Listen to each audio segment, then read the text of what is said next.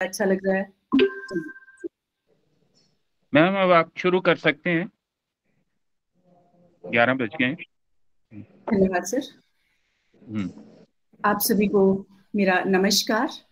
नातन धर्म कॉलेज की ओर से आप सभी का मैं स्वागत करती हूँ। नई शिक्षा नीति 2020 के संदर्भ में बीए और बीएससी के हिंदी विषय के पाठ्यक्रम पर पाठ्यक्रमों पर हम परिचर्चा करने जा रहे हैं।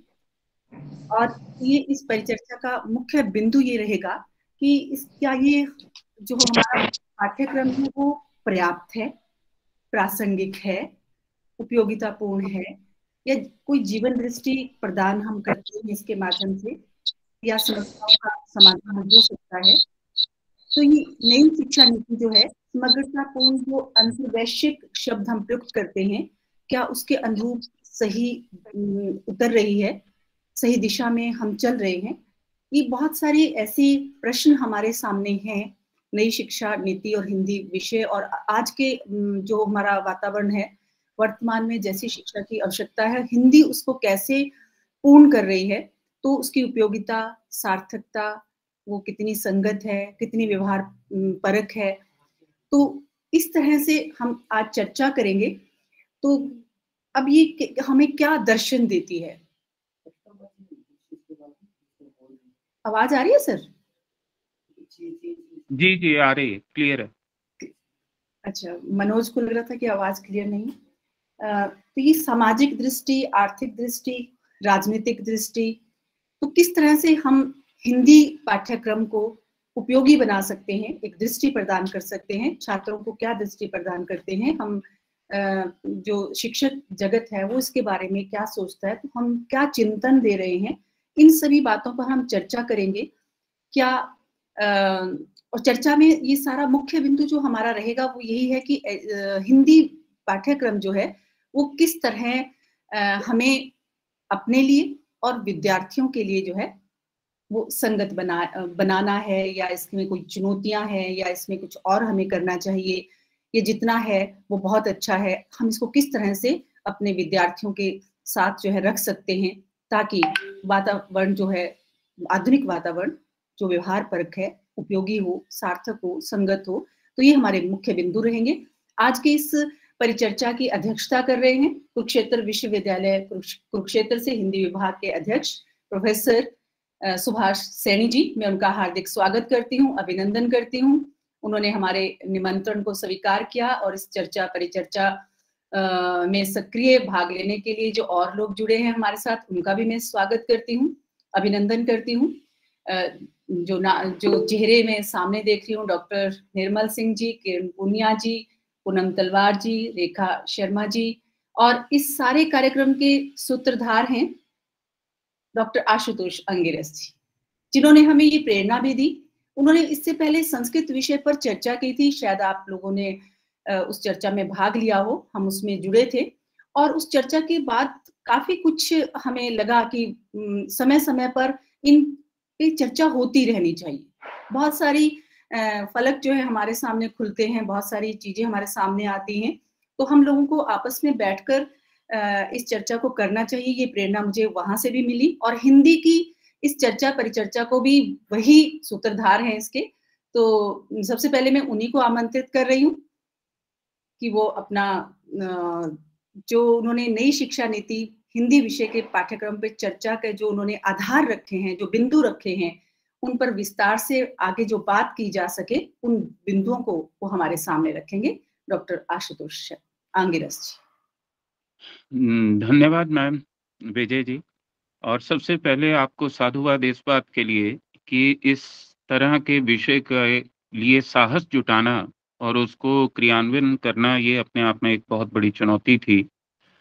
आ, सीधे विषय की ओर अग्रसर होते हुए और डॉक्टर प्रोफेसर सुभाष सैनी जी का कॉलेज की ओर से स्वागत करते हुए और बाकी सभी जुड़े हुए लोगों का स्वागत करते हुए मैं सीधे विषय की ओर अग्रसर होना चाहता हूँ कि ये सही है कि कुरुक्षेत्र विश्वविद्यालय में हरियाणा गवर्नमेंट ने न्यू एजुकेशन पॉलिसी लागू की सबसे पहले लागू की।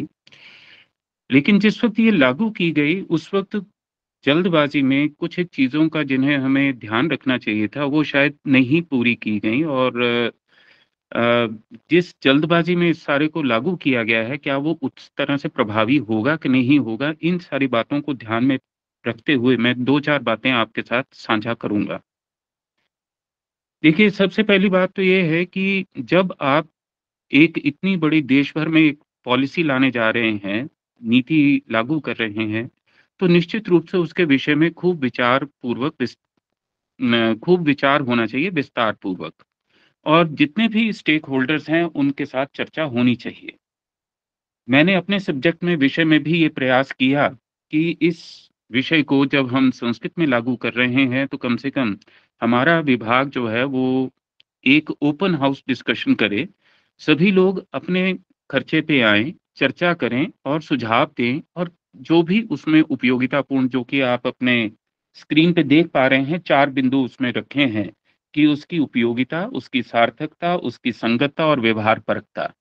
ये चार चीज़ों को हमने आधार बनाया है कि न्यू एजुकेशन पॉलिसी ने अब हमें ये मौका दिया है कि हम अपने जो पुराने सिलेबसेस हैं, उनमें अभीष्ट परिवर्तन करें और अपने-अपने विषय को सुप्रतिष्ठित करें और प्रभावी बनाएँ। और निश्चित रूप से जब आप ऐसा सिलेबस बनाते हैं, तो उसमें तीन पक्ष रहते हैं, जो कि आप इधर अपने वाई एक्सिस पे देख पा रहे हैं। वो क्या है कि आपका शास्त्र है, शास्त्र को मतलब संस्कृत शास्त्र से मत समझिएगा, उसमें साहित्य शास्त्र, अर्थशास्त्र सब कुछ आ जाता है। और युक्ति रीज़निंग उसमें बहुत इंपॉर्टेंट है, कि हमें क्या हमारे सिलेबसेस में ये रीज़निंग और युक्ति जो है, ये विद्यमान है और हमारा अनुभव क्या कहता है?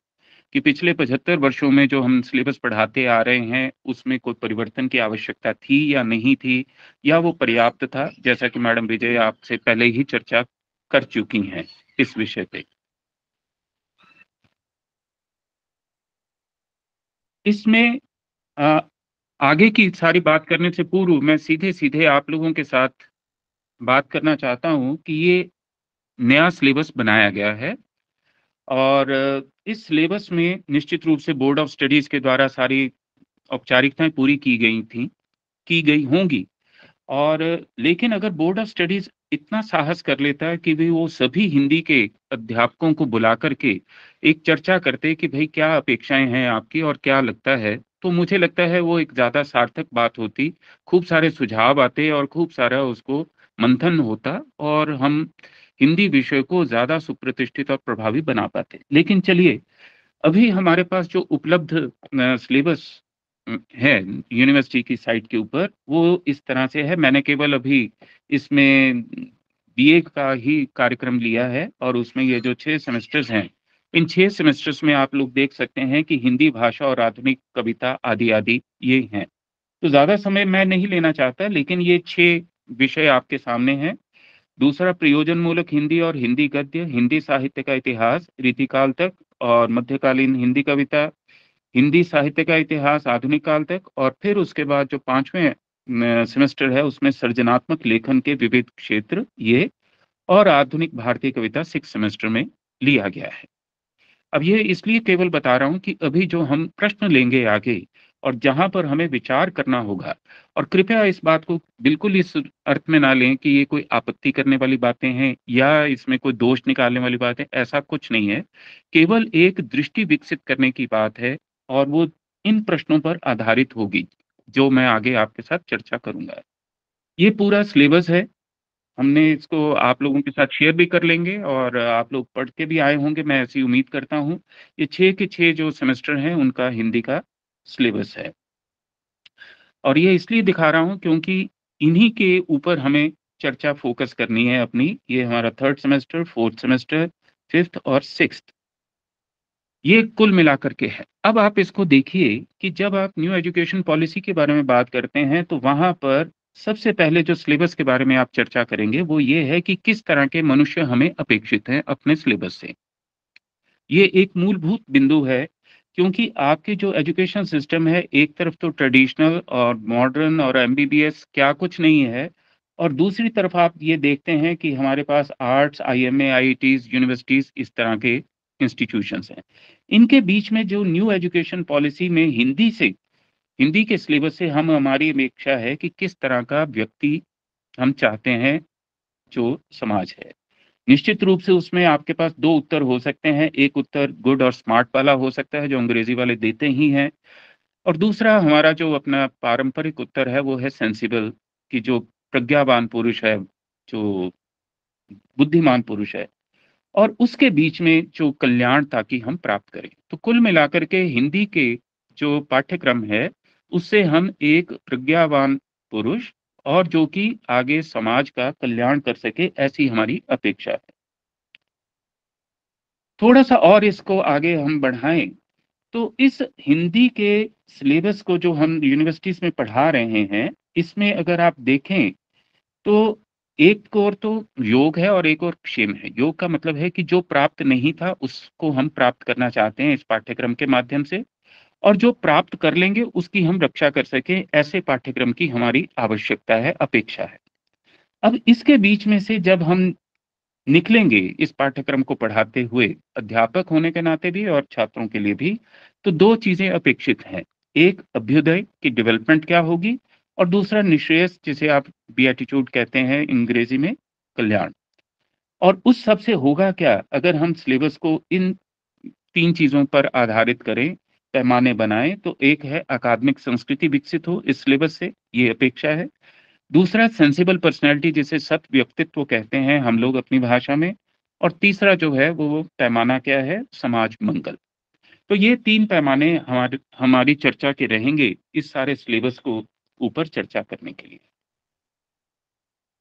अब आप आ जाइए जो सीधे सीधे डायरेक्ट प्रश्न है, सीधा प्रश्न है आपके लिए कि इस हिंदी पाठ्यक्रम का ध्येय लक्ष्य यहाँ स्क्रीन के ऊपर देखिए, क्या आजीविका प्राप्ति और आत्मशंसी करना है?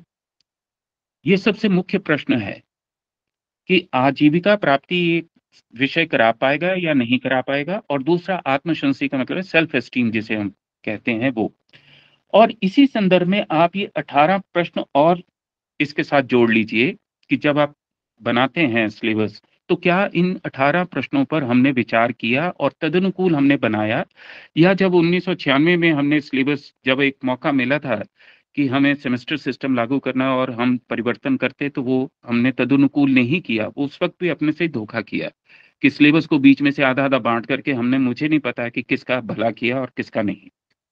लेकिन इन 18 प्रश्नों को आप देखें कि उपयोगितापूर्ण क्या ये सिलेबस है? पाठ्यक्रम सार्थकता, उसकी प्रासंगिकता, वर्तमान परिस्थितियों के प्रति उसकी अनुकूलता है। आजीविका, वैचारिकता, जीवन दृष्टि, जीवन पद्धति, छात्रों के प्रति जवाबदेही, छात्रों का व्यक्तित्व निर्माण, और फिर जो औद्योगिक और सामाजिक उसकी प्रतिष्ठा है, उसकी उपलब्धियाँ इस पाठ्यक्रम से रुचिरता, आकर्षण, स्मार्ट और डायनेमिक जिसे कहें आप, अग्रसरता और परिवर्तनशीलता, और अंतिम प्रश्न है कि इसकी मार्केट डिमांड क्या होने जा रही है। तो कुल मिलाकर के ये अठारह प्रश्न हैं जिनके आधार पर हम इसको मूल्यांकित करने का प्रयास करें। और मैं ये फिर कह रहा हूँ कि ये ना तो कोई आलोचना का विषय है, ना कोई आपत्तियाँ या दोष निकालने का है। ये केवल ये है कि अगर हम कोई सुझाव दे सकते हैं और हम इस हिंदी के प्रति अगर निष्ठाबद्ध हैं और हम चाहते हैं कि इसकी सुप्रतिष्ठा हो और ये प्रभावी विषय बने तो इन विषयों पर हमें चर्चा करनी है, विचार करनी है। आ, ये जो सारी बात मैडम विजय आपके साथ कर रही थी और उसके लिए जिसके लिए मैंने इनको आग्रह किया और उन्होंने इस आग्रह को स्वीकार किया तो उसका पीछे कारण ये था कि मैंने इसके ऊपर दो बार काम किया। एक बार पहले जो है हम लोगों ने सर्वे वर्क किया क्योंकि सिलेबस बनाते हुए अगर हमने सर्वे वर्क नहीं किया हमने ये नहीं देखे कि पुराने सिलेबस में क्या गुण दोष थे तो फिर मुझे लगता है कि फिर कहीं हम चूक जाएँगे। तो हमने लगभग तेरह कॉलेजेस का सर्वे किया था और उसके आधार पर ये सारे प्रश्न हमने बनाए थे कि क्या प्रचलित साहित्यिक पाठ्यक्रम से आप संतुष्ट हैं? क्या आप पाठ्यक्रमों का नवीकरण चाहते हैं? ये हमने छात्रों से किया था और पहली बार में 400 लगभग छात्रों को हमने वो किया था इंटरव्यू उसके बाद फिर हमने लगभग 1525 लोगों का ऑनलाइन सर्वे किया था। ये आप देख सकते हैं स्क्रीन पे। मैं केवल दिखा रहा हूँ कि ये एक तरीका होना चाहिए था शायद कि हम इस तरह से अगर सिलेबसिस को डिज़ाइन और करते, उसको उसके विषय में चर्चा करते तो ज़्यादा अच्छा और सुखद रहता। तो जैसे कि आप देख सकते हैं कि 1525 हमने लोगों का सर्वे ऑनलाइन किया और इसमें जो है ये कितने सारे राज्य हैं? आंध्र प्रदेश से लेकर हरियाणा तक पंजाब सारे इंक्लूडेड है। और इसमें हर तरह के लोग, अध्यापक, विद्यार्थी और जनसामान्य और एडमिनिस्ट्रेटिव लोगों के भी उत्तर हैं। और फिर इसमें आप देखिए, ये वही सारे लगभग क्वेश्चंस हैं और आप इन सारे प्रश्नों के आप उत्तर देखें तो आप बड़े हैरान होंगे कि लोगों की अपेक्षाएँ क्या हैं और हम क्या पढ़ा रहे हैं। और चलते चलते आप ये देखते जाइए कि ये सारे प्रश्न जो हैं हमने लोगों से पूछे और, उसके आधार पर जो हमने निष्कर्ष निकाले, वो निष्कर्ष हमने अपने विभाग को प्रायोजित भी किए, वीडियो भी इसकी बनाए, उनको कहा भी। लेकिन जैसा कि होता ही है कि यूनिवर्सिटी के रिस्पॉन्सेज कई बार अनुकूल नहीं होते, ना उस तरह की उनकी रुचि होती है तो वो जो उन्होंने करना था कि हमने जो बोर्ड ऑफ़ स्टडीज़ में डिस्कस कर लिया और वो आपके रिप्रेजेंटेटिव हैं और इससे बात सारी समाप्त हो गई। बात अब भी समाप्त हो सकती है, कोई इसमें दिक्कत नहीं है। लेकिन फिर भी अगर हमें लगता है कि हम हिंदी के प्रति, इस भारत के प्रति निष्ठावान लोग हैं और कटिबद्ध हैं हिंदी को सुप्रतिष्ठित करने के लिए तो मुझे लगता है कि इस सारे विषय के ऊपर एक बड़े खुले मन से चर्चा होनी चाहिए। बिना किसी पूर्व, पूर्वाग्रह के। और जो छात्रों का हित हो, जिससे देश का हित हो, जिससे समाज का हित हो, और सबसे अधिक जिससे हमारे व्यक्तित्व का, हमारी बुद्धि का विकास हो। अगर ऐसा सिलेबस अगर हम डिज़ाइन कर पाते हैं तो मुझे लगता है कि हम बहुत बड़ा एक काम कर पाएँगे। अब ये जब प्रश्न आते हैं तो निश्चित रूप से कुछ मेरे अपने भी प्रश्न हैं, और उसके बाद हम खुली चर्चा करेंगे। आप लोग अपने अपने सुझाव दे सकते हैं प्रतिक्रियाएँ दे सकते हैं, टिप्पणियाँ दे सकते हैं। हिंदी को लेकर के एक जो मेरे मन में हमेशा एक प्रश्न रहा कि हिंदी की अपनी वैचारिक आधार भूमि को कैसे हम परिभाषित करें? क्योंकि जब आप अंग्रेज़ी के बारे में बात करते हैं तो उनके अपनी एक पूरी की पूरी परंपरा है और वो अब्राहमिक रिलीजन से भी आ रही है और ग्रीक ट्रेडिशन से भी आ रही है। लेकिन हिंदी में, क्योंकि हिंदी को हमने पिछले कई वर्षों से थोड़ा सा अपनी परंपराओं से अलग करके उसे आधुनिक बनाने बनाने का प्रयास किया है। तो उस संदर्भ में हिंदी का जो बोलने का, लिखने का और विचार करने का जो तरीका है, उसमें काफ़ी परिवर्तन आया है और उससे व्यक्तित्व भी बिखरा है। अब ये बातें सिद्ध करने के लिए तो एक अलग विचार विनिमय हमें करना पड़ेगा, लेकिन मैं अपनी ऑब्जर्वेशंस आपके साथ साझी कर रहा हूँ। दूसरी जो इसमें बात है कि आ, हम हिंदी या संस्कृत के लोग क्या अन्य विषय के लोगों के साथ कभी हमने चर्चा की कि तुम लोग कैसे सोच रहे हो? कौन से तुम्हारे विषयों में विचार आ रहे हैं जिनको हम अपने विषय में लाएँ? या हमारे कौन से नए विचार हैं जिनको तुम्हें अपने विषय में इंक्लूड करना चाहिए? तीसरा हमारे जो विद्यार्थी हैं, जो सबसे महत्वपूर्ण बात है, और मैं यहाँ पे अपनी बात समाप्त कर रहा हूँ, और उसके बाद मैं आप लोगों को आमंत्रित कर रहा हूँ। सभी लोग निर्भय भाव से अपनी अपनी बात रख सकते हैं कि क्या हम अपने पाठ्यक्रमों के माध्यम से छात्रों को कभी कोई सर्वे करने के लिए, आलोचनात्मक टिप्पणियाँ करने के लिए, आलोचनात्मक लेख लिखने के लिए प्रेरित कर पाएँगे? या उनको केवल हम इसी से काम चलाते रहेंगे कि भाई ये लो तुमको मैंने पोइट्री पढ़ाई थी कविता पढ़ाई थी अब इसका तुम अनुवाद लिख के आ जाओ। अब ये बात मुझे बड़ी अचंभित करती है कि मैंने एक श्लोक पढ़ा दिया अब मैं उसी का उसको कह रहा हूँ सरलार्थ लिख दे इसके क्या नंबर देने? ये तो हो सकता है कि मैंने उसको एक पाठ्य पुस्तक पढ़ा दी मैंने उसको शाकुंतल पढ़ा दिया। अब शाकुंतल पढ़ा करके मैं उससे ये प्रश्न पूछूँ कि अब तेरी समाज के बारे में राय क्या है? शाकुंतल के आधार पर तुम समाज का मूल्यांकन करो। तुम रामचरित मानस पढ़ करके तुम समाज के मूल्यांकन करो, राजनीति का मूल्यांकन करो, कुबेरनाथ राय को पढ़ करके तुम सामाजिक सांस्कृतिक मूल्यांकन करो। ये तो कोई विषय हो सकते हैं किसी भी प्रश्न पत्र के। लेकिन ये मुझे बहुत अजीब लगता है कि लो, हमने ये सारा साल तुम्हें ये कविता पढ़ाई थी, रत्नावली पढ़ाई थी, तुम्हें ये आधुनिक कविता पढ़ाई थी, अब इसका तुम भावार्थ सरलार्थ लिख के आ जाओ और तुम्हें फिर मैं दस में से पाँच और छह या आठ जो भी देने हैं, वो नंबर दे दूँगा। इससे कैसे कोई विकास कर सकता है? हिंदी का छात्र इतना प्रबुद्ध होना चाहिए कि वो राजनीति के ऊपर अपनी राय रखे, सामाजिक कार्यों के प्रति राय रखे, वो नेतृत्व पे एक आलोचनात्मक चिंतन कर सके वो नई फ़िल्मों के ऊपर टिप्पणियाँ लिख सके।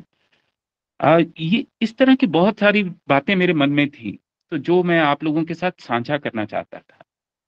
आ, बाकी आप लोग विषय विशेषज्ञ हैं मैं तो हिंदी का उस तरह से विषय विशेषज्ञ नहीं हूँ।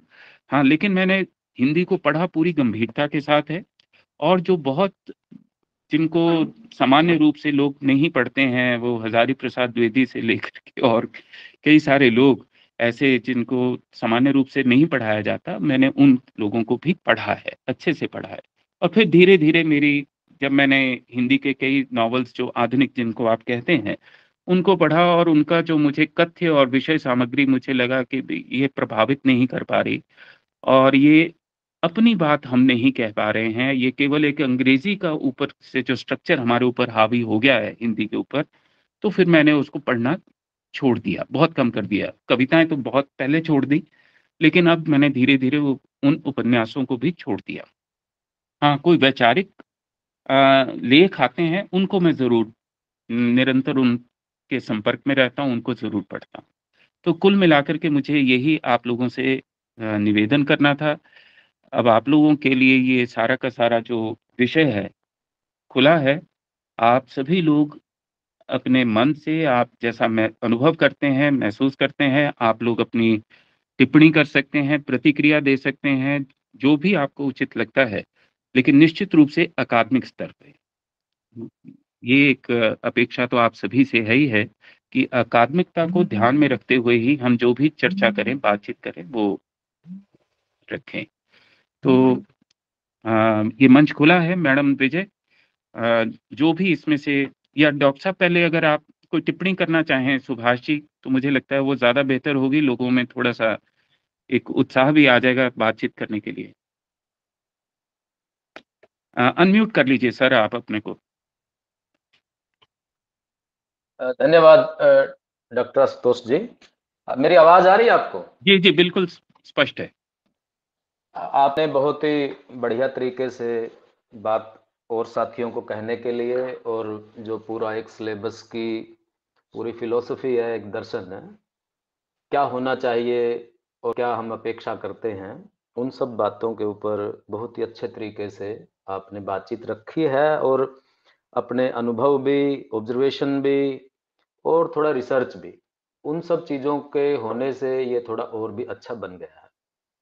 जहाँ तक हिंदी के पाठ्यक्रम की बात है और यदि सिर्फ़ राष्ट्रीय शिक्षा नीति के संदर्भ में जो कुरुक्षेत्र विश्वविद्यालय ने बनाया है और जिसमें मतलब आप कह सकते हैं कि मेरी मुख्य भूमिका भी रही है इसमें जो अभी जो आपके सामने है ये तो यद्यपि पुराना है क्योंकि पहले कुरुक्षेत्र यूनिवर्सिटी में ये जो चयन आधारित क्रेडिट पद्धति सीबीसीएस जिसको बोलते हैं वो था और इस साल से एनईपी लागू हुआ है वो अलग है। उसका फॉर्मेट अलग है। उसका जो टेम्पलेट जो यूजीसी की तरफ़ से आया और जिसको कुरुक्षेत्र यूनिवर्सिटी ने अडॉप्ट किया हम्म। उसमें ये बात आपकी पीड़ा मेरे ख्याल में जितने भी शिक्षक इसको बनाने में शामिल रहे होंगे सबकी है कि उनसे राय ली गई कि नहीं ली गई वो उपयुक्त थी कि नहीं थी। एक काम दिया गया है हमने वो करना है और जितनी बुद्धि, समय और प्रक्रिया में जो सिस्टम अलाउ करता है, मेरे ख्याल से हर टीचर ने आपकी इस पीड़ा को अपने अंदर दबाए रखते हुए या उसको अपनी कैपिटल बना करके, पूंजी बना करके सिलेबस का निर्माण किया है। वो जो आपने बात कही है, वो सही है। हमारी इस व्यवस्था में कितनी छूट है, कितनी नहीं है वो बात आप बेहतर तरीके से जानते हैं, आप भी इसी उसके हिस्सा हैं कि हम सब एक व्यवस्था के अंदर ही काम करते हैं। लेकिन जितनी भी हमें छूट है, जितनी भी हमें चीज़ है, मिली है एनईपी e लागू हो कि ना हो, उसका स्वरूप और स्ट्रक्चर क्या हो, और उसके लिए हम पहले से कोई इस तरह की प्रक्रिया अपनाएँ कि ना अपनाएँ ये सब चीज़ें व्यवस्थागत हैं किसी एक व्यक्ति कोई भी हो कहीं पे भी उसमें काफ़ी चीज़ें होती हैं पेचीदगी। जिसकी अपनी रुचियाँ होती हैं वो करते हैं। और मेरे ख्याल से अपने तौर पे जिस तरह का हमारी व्यवस्था है उसमें विद्यार्थियों से और हमारे जो साथी कुलीग होते हैं उनसे जितनी संभव होती है या जितनी उपलब्ध होती है उसकी राय लेते हैं। इस उसके साथ में ये अपनी बात कह रहा हूँ कि देखिए यदि आप देखेंगे कि कुरुक्षेत्र विश्वविद्यालय का हिंदी का जो पाठ्यक्रम है जो आपने मोटे तौर पे चीज़ें निभाई हैं। यदि आप इसी पाठ्यक्रम में ही देखें कि जो निर्देश दिए गए हैं कि एक विद्यार्थी से क्या अपेक्षा है कि ये पढ़ करके वो क्या सीखेगा जो आउटकम है हर पेपर का ऊपर दिया गया है कि इसका लक्ष्य क्या है? और यदि इस सिलेबस को विद्यार्थी पढ़ लेता है हर पेपर का अलग अलग है तो वो क्या है? और यदि आप परीक्षा संबंधी निर्देश भी देखेंगे तो उसमें जो आप शेयर कर रहे हैं, यदि उसमें पाठ आधारित प्रश्नों की आप बात करेंगे तो उसमें आप देखेंगे कि निर्धारित जो रचना है, उसकी विषय वस्तु उसकी मूल संवेदना और उसका रचना सोष्ठ प्रासंगिकता, जो आप कह रहे हैं कि उसकी, यानी कि एकेडमिक बात भी और उसकी रेलेवेंस भी, आज के संदर्भ में क्या बनती है? इस तरीके की चीज़ों को ध्यान में रखा गया है और कैसे एक पाठ, विद्यार्थी पाठ को उसने सही ग्रहण किया कि नहीं किया। इसके लिए भी यदि आप पूरे निर्देशों को देखेंगे कि इसमें जो पाठ बोध के आधार पे मतलब अलग अलग क्योंकि अलग अलग तरीके के सिलेबस हैं पोइट्री में अलग तरीके से सवाल पूछे जाते हैं और जो गद्य में है, लेकिन ये कंपोजिट बात है, पूरी एक इंट समग्र बात है। खैर तो हमने इस बात का ध्यान रखा है अपने तरीके से, और क्योंकि हम एक उसमें काम करते हैं एक, कि एक समय सीमा है पढ़ाने की भी और विद्यार्थी के स्तर की भी। उन सब चीज़ों को ध्यान में रखते हुए कि सिलेबस की जो मात्रा है, और उसको कैसे रखा जाए कि उसके अंदर एक विद्यार्थी के व्यक्तित्व का निर्माण भी हो, उसके अंदर उसकी बुद्धि का विकास भी हो और वो अपने तरीके से इस समाज की सच्चाइयों को ग्रहण करने, विश्लेषण करने के काबिल भी हो जाए, एक दृष्टि भी, आकार भी ग्रहण करे। और इसी से यदि वो कोई रोज़गार बना सकता है अपना, या जो पहले से रोज़गार स्थापित है, उसको प्राप्त करने के संघर्ष में भी ये पाठ्यक्रम उसकी मदद करे। ये सब चीज़ें अपने तरीके से इसमें ध्यान रखी गई हैं। जो कुछ बातें आपने कही हैं कि वो मतलब वो आपकी मान्यताएँ हैं और उसमें समय समय पर परिवर्तन होते रहना चाहिए कि यदि कोई नई बात आई है तो उसको देखा जाना चाहिए। क्योंकि हिंदी विषय की अपनी हज़ार साल की परंपरा है। अब ना तो हम उस परंपरा को छोड़ सकते हैं पूरी तरीके से, और ना ही पूरी तरीके से उसको, जो उसका सही स्वरूप है, इतने कम समय में उसको बता सकते हैं।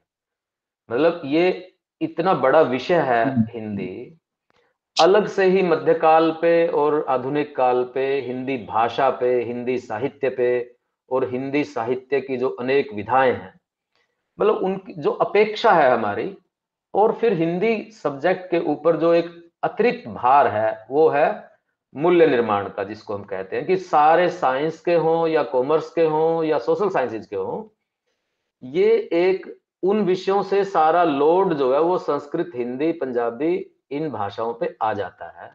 तो ये अपेक्षा की जाती है कि जो एक अच्छे नागरिक बनाने के के लिए जो प्रयास होने चाहिए वो भी इन्हीं के ज़रिए ही पूरा किया जाएगा।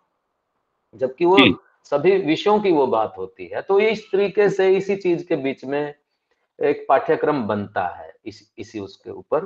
लेकिन मैं ये कह सकता हूँ कि जिस तरह से आपने बताया कि जैसे चाहे फ़िल्में हो चाहे कुछ हो यदि आप पूरा सिलेबस देखेंगे हिंदी का ये सिर्फ़ एक अनिवार्य जो हिंदी हम्म। होती है वो है। हिंदी ऑनर्स अलग है हिंदी ऐच्छिक अलग है। जिस तरीके से जितना जितना समय मिलता है उसको पाठ्यक्रम का उस तरीके से कि कम से कम यदि विशेषज्ञता ना हो एक स्नातक के विद्यार्थी को तो कम से कम परिचय हो जाए। जी। यदि विशेषज्ञता ना भी हासिल करे तो कम से कम उसको परिचय हो जाए कि वो इस तरह की चीज़ें वो पढ़ेगा। तो इस उन सब चीज़ों को अपने तरीके से ध्यान में रखते हुए अब ये हिंदी हिंदी भाषा वो साहित्यिक भाषा है या कार्यालयी भाषा है या बाज़ार की भाषा है या रोज़गार की भाषा है मीडिया की भाषा है। ठीक बात है ठीक बात। हम्म। तो ये मतलब बहुत ही विशद बात है यदि हम एक एक उस पे जाते हैं। लेकिन थोड़े परिचय के तौर पे विद्यार्थी से ये हम्म। अपेक्षा करते हुए उस तरह की बातें हैं। बाकी हमारे साथी जुड़े हुए हैं। अभी इन साथियों को ये सिलेबस पढ़ाने का मौका नहीं मिला क्योंकि हो क्या रहा है कुरुक्षेत्र यूनिवर्सिटी में? हम्म। जो दो साल पहले हमने सिलेबस बनाया था कोरोना के दौरान ये जो आप देख रहे जो आपने शेयर किया है प्रेजेंट किया है सीबीसीएस का उसके तुरंत बाद एनईपी शुरू हो गई। अगले साल ये कॉलेजों में जाना था। लेकिन क्योंकि एनईपी आ गया तो उसको विड्रा कर लिया छोड़ दिया कि अब एनईपी यहाँ लागू करें कैंपस पे और फिर कैंपस के के बाद अगले साल वो फिर कॉलेजों में चला जाए। तो ये सिलेबस अभी कॉलेजों में नहीं गया है। अभी ये सिर्फ़ यूनिवर्सिटी जो हमारा कॉलेज है जो इंस्टीट्यूट बन गया है उसी के विद्यार्थियों ने पढ़ा है और उसी के अध्यापकों ने पढ़ाया है। नए नया सिलेबस है ये हिंदी का। तो उनके जो अनुभव हैं, यदि उन साथियों में से कोई यहाँ पे हो तो वो ज़रूर बताएगा कि इसमें वो किस तरीके की जो नई विधाएँ हैं, या नए साहित्यकार हैं, या नए तरीके से जो दृष्टि है कि कैसे हम अपनी परंपरा को साथ में लेते हुए एक जो आधुनिक ज्ञान है, उससे भी जुड़े रहें। तो इसका एक प्रयास ज़रूर है। अब ये बहुत सारी चीज़ें, जैसे डॉक्टर भीमराव अंबेडकर ने संविधान के बारे में कहा था कि आप कितना ही अच्छा आप उसको बना लीजिए कितना ही अच्छा लिख लीजिए यदि उसको लागू करने वाले लोग अच्छे नहीं हैं तो उसका रिज़ल्ट कुछ नहीं निकलेगा। अंततः हर सिलेबस की परीक्षा क्लासरूम में होनी है। हर अध्यापक अपनी दृष्टि से अपने ही मकसदों के साथ अपने ही जो वातावरण है उसमें उसको पढ़ाता है और जो विद्यार्थी उसके पास आते हैं वो किस पृष्ठभूमि से और क्या संकल्प लेके आते हैं? इन सब के बीच में ही सिलेबस अपना काम करता है। सिलेबस कोई रामबाण औषधि नहीं है। सिलेबस एक दो पीढ़ियों के बीच में एक संवाद का ज़रिया है। जी। जिसके माध्यम हम्म, से हम्म। वो उस अपनी पूरी ज्ञान परंपरा को धारण करता है हासिल करता है और अपने समाज को देखना सीखता है। और इसके बीच में होता है अध्यापक इसका जो इंटरप्रेटर है इसका जो व्याख्याता है वो इसलिए ना इन सब चीज़ों के बीच में ही सिलेबस है। अलग से यदि हम सिलेबस को निकाल के बात करते हैं कि उसकी प्रभावशीलता क्या होगी तो वो सब चीज़ों के साथ ही हमें बात करने की ज़रूरत है। जो हिंदी के अंदर जो बच्चे आते हैं स्कूल से कॉलेज में अंग्रेज़ी में भी यही हालत है कि हमें उसकी मात्रा ठीक करने के लिए ही हम बचे हुए हैं। कि उसको किस तरह से उसका उच्चारण ठीक कराएँ या किस तरीके से उसको उसकी वर्तनी शुद्ध लेखन कराएँ जो कि एक पांचवी तक का या ज़्यादा से ज़्यादा दसवीं तक का काम हो जाता है। बिल्कुल बिल्कुल तो ठीक कह रहे हैं। ये जो जो स्कूली शिक्षा जिस तरीके से बर्बाद हुई है और वहाँ पे जो हिंदी की स्थिति है वो एकदम जब कॉलेज में आता है तो उस अध्यापक के ऊपर क्या बनती है और यदि आप नौवीं में पढ़ाने वाले हिंदी अध्यापक को पूछोगे तो उसका भी यही उत्तर होगा कि जो पीछे से बच्चा आ रहा है कि हमारी समस्या यह है कि उसको हम आगे कैसे भेजें तो ये जो इस चीज़ के बीच में तो पूरी हमारी जो शिक्षा प्रणाली है उसी के एक बिंदु के तौर पे मेरे ख्याल से पाठ्यक्रम है लेकिन पाठ्यक्रम हम्म। क्योंकि महत्वपूर्ण है पाठ्यक्रम क्योंकि दो उनके बीच में संवाद पाठ्यक्रम ही एक ज़रिया होता है कॉमन बात पाठ्यक्रम ही है। बिल्कुल बिल्कुल। बीच में। हम्म। तो इसलिए उसकी क्वालिटी और उसकी रेलिवेंस और उसकी मॉडर्निटी या उसकी जो हमारी ट्रेडिशनल हेरिटेज और वैल्यूज़ हैं उन सबको वो साथ लेके चलता है कि नहीं चलता है बड़ी ज़रूरी बात है। सिलेबस में ये गुंजाइश होनी चाहिए कि हर अध्यापक उसको व्याख्यायित कर सके अपने संदर्भों में। और विद्यार्थी उससे ग्रहण कर सके। ये आपकी अपेक्षा ठीक है और हमने अपनी तरफ़ से हमारी सीमाओं में रहते हुए जितनी कोशिश हुई है वो की है और मुझे पूरा विश्वास है साथी लोगों के पास जब ये पाठ्यक्रम जाएगा तो ये ज़रूर महसूस करेंगे कि कुछ हम उनको तैयारी करनी पड़ेगी। इस साल से हमारा पीजी का जो पाठ्यक्रम है वो कॉलेजों में जा रहा है ये सीबीसीएस वाला। सीबीसीएस तो लागू नहीं है कॉलेज में लेकिन हमने पाठ्यक्रम वही बना दिया हिंदी का। और मुझे पूरा भरोसा है कि जितना मेरे सिर पे बाल हैं वो उड़ने वाले हैं। क्योंकि जो खुद का नवीनीकरण है पाठ्यक्रम के हाँ, साथ साथ जी जी। वो वो बहुत ज़ोर माँगता है। वो बहुत उसके लिए ज़रूरत होती है कि फिर से हम एक विद्यार्थी बन करके उस पाठ्यक्रम को पढ़ें हम्म। और नए वैल्यूज़ के साथ पढ़ें। तो ये बाकी ठीक है मतलब एक प्रक्रिया हाँ। है आपने अच्छी बातचीत शुरुआत की है इसके लिए आपका बहुत बहुत मैं तो आभारी हूँ धन्यवादी हूँ कि ये बातें चले और हमारे शिक्षकों में ये बात जाए कि पाठ्यक्रम को नया करना और पुराने पाठ्यक्रम को नए तरीके से पढ़ाना। हाँ जी दोनों ही बातें बिल्कुल बिल्कुल दोनों बहुत महत्वपूर्ण बात है।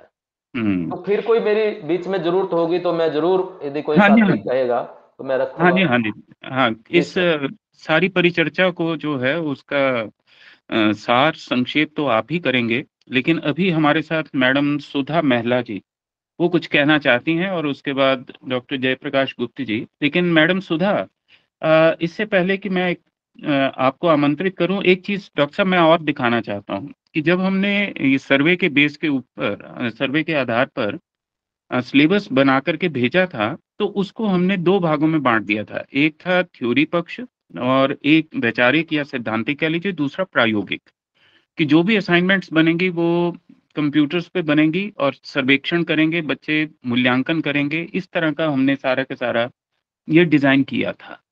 तो लेकिन वो तो चलो वो कोई शिकायत वाली बातें भी नहीं है ठीक है। और यदि आप यदि आप हिंदी का इन निर्देशों को देखें कि उसमें असाइनमेंट हाँ। कैसे दी जाए आप उसको पढ़ें तो आ, आ, आपका मेरे ख्याल से दिल गदगद हो जाएगा। जी जी मैंने देखा वो अच्छा लगा ये वाला। बाकी अभी नए वाला भी मैं देख लूँगा उसको भी पढ़ूँगा। चलिए डॉक्टर सुधा महिला जी। मैडम आपने हाथ खड़ा किया हुआ है। अपने को अनम्यूट कर लें।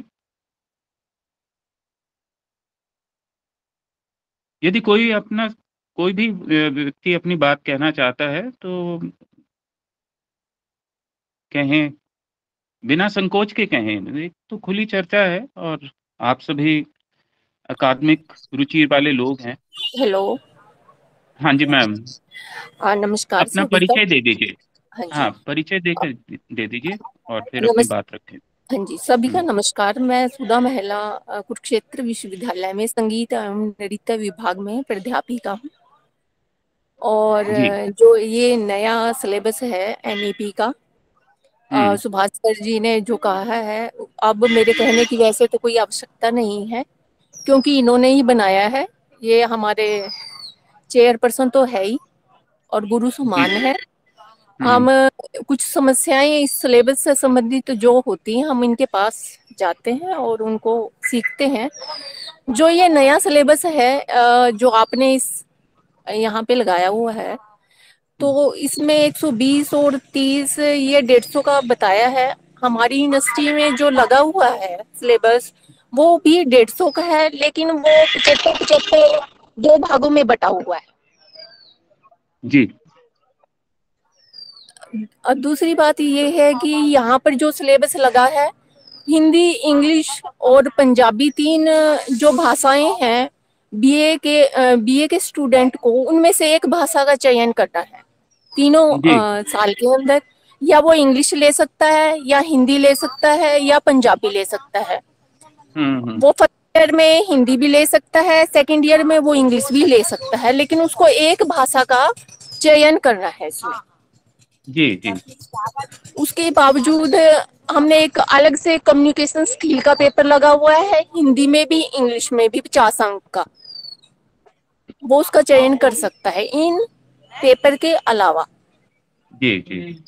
जो ये सिलेबस लगा हुआ है इसमें एक बात ये है कि इसमें बच्चा कई ग्रामीण इलाकों से कई बच्चे आते हैं उन्होंने शुरू से ही हिंदी में शिक्षा प्राप्त की हुई होती है आगे जाके उन्हें इंग्लिश में बहुत दिक्कतें आ जाती हैं।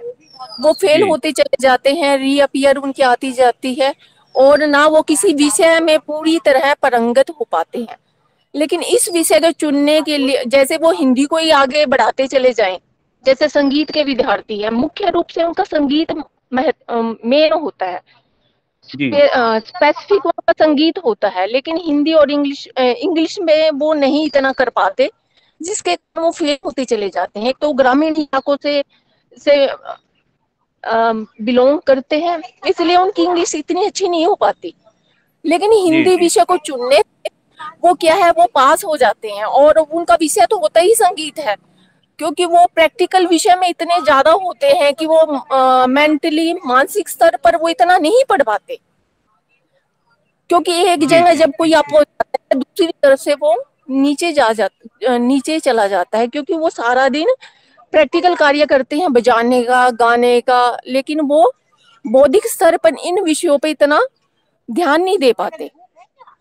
दूसरा हम भारतवर्ष के अंदर रहते हैं कहीं ना कहीं हिंदी को हम बढ़ावा देना चाहते हैं। जब व्यक्ति के पास जब क्योंकि बचपन से ही हम बच्चों को इंग्लिश मीडियम में भेज देते हैं ये तो आप जानते ही हैं हम्म। लेकिन आ, हिंदी को इतना बच्चा पढ़ नहीं पाता।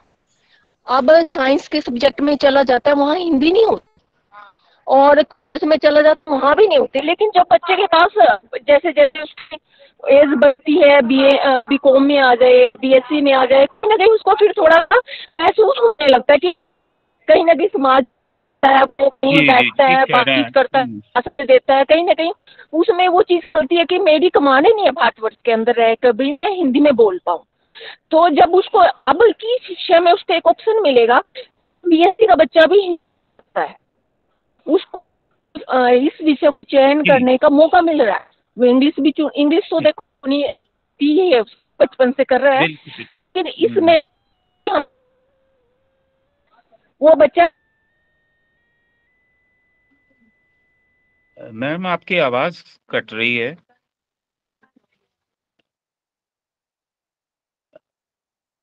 आपकी आवाज़ उनको नहीं लेनी है।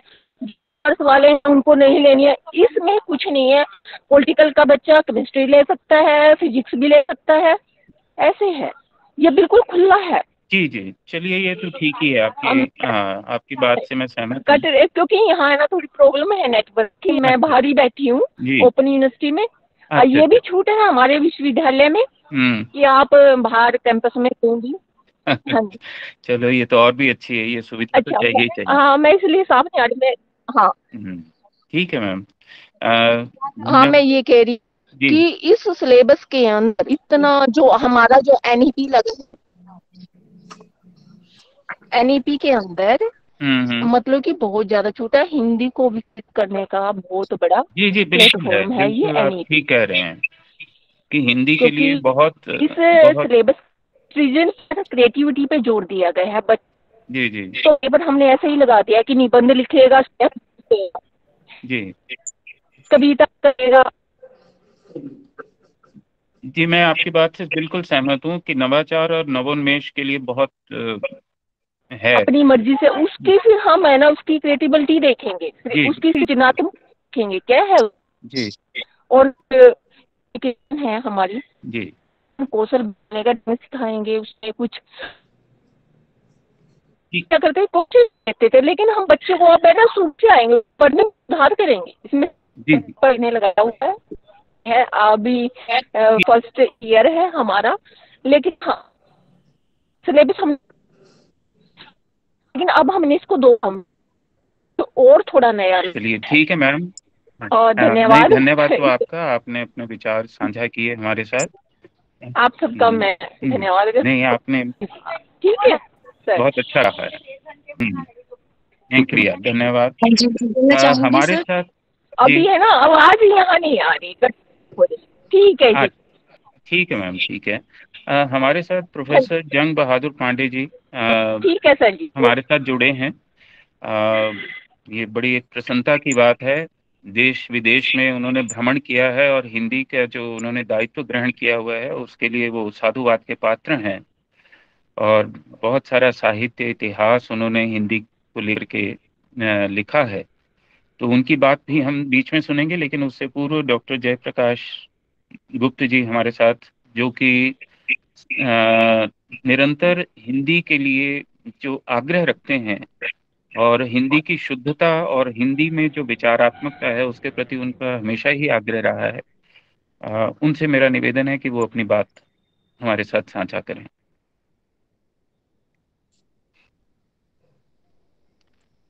डॉक्टर साहब आप अपने को अनम्यूट कर लें। सभी को सभी को नमन। मेरी आवाज़ आ रही? जी जी बिल्कुल। सभी को नमन। मैं जयप्रकाश गुप्त मूल रूप से शिक्षा से एक चिकित्सक किंतु हिंदी के प्रति आग्रह मेरा बहुत समय से प्रारंभ से ही राष्ट्रभाषा विचार मंच के नाम से यहाँ पर हिंदी और हिंदी के माध्यम से भारतीय संस्कृति और भाषा और संस्कृति के माध्यम से राष्ट्रवाद, इसके प्रति चेतना जागृत करने का ये एक मंच जो 22 वर्ष से अंबाला में सक्रिय रूप से कार्यरत है। मैंने सुना डॉक्टर आशुतोष जी आपको, और मैं आपके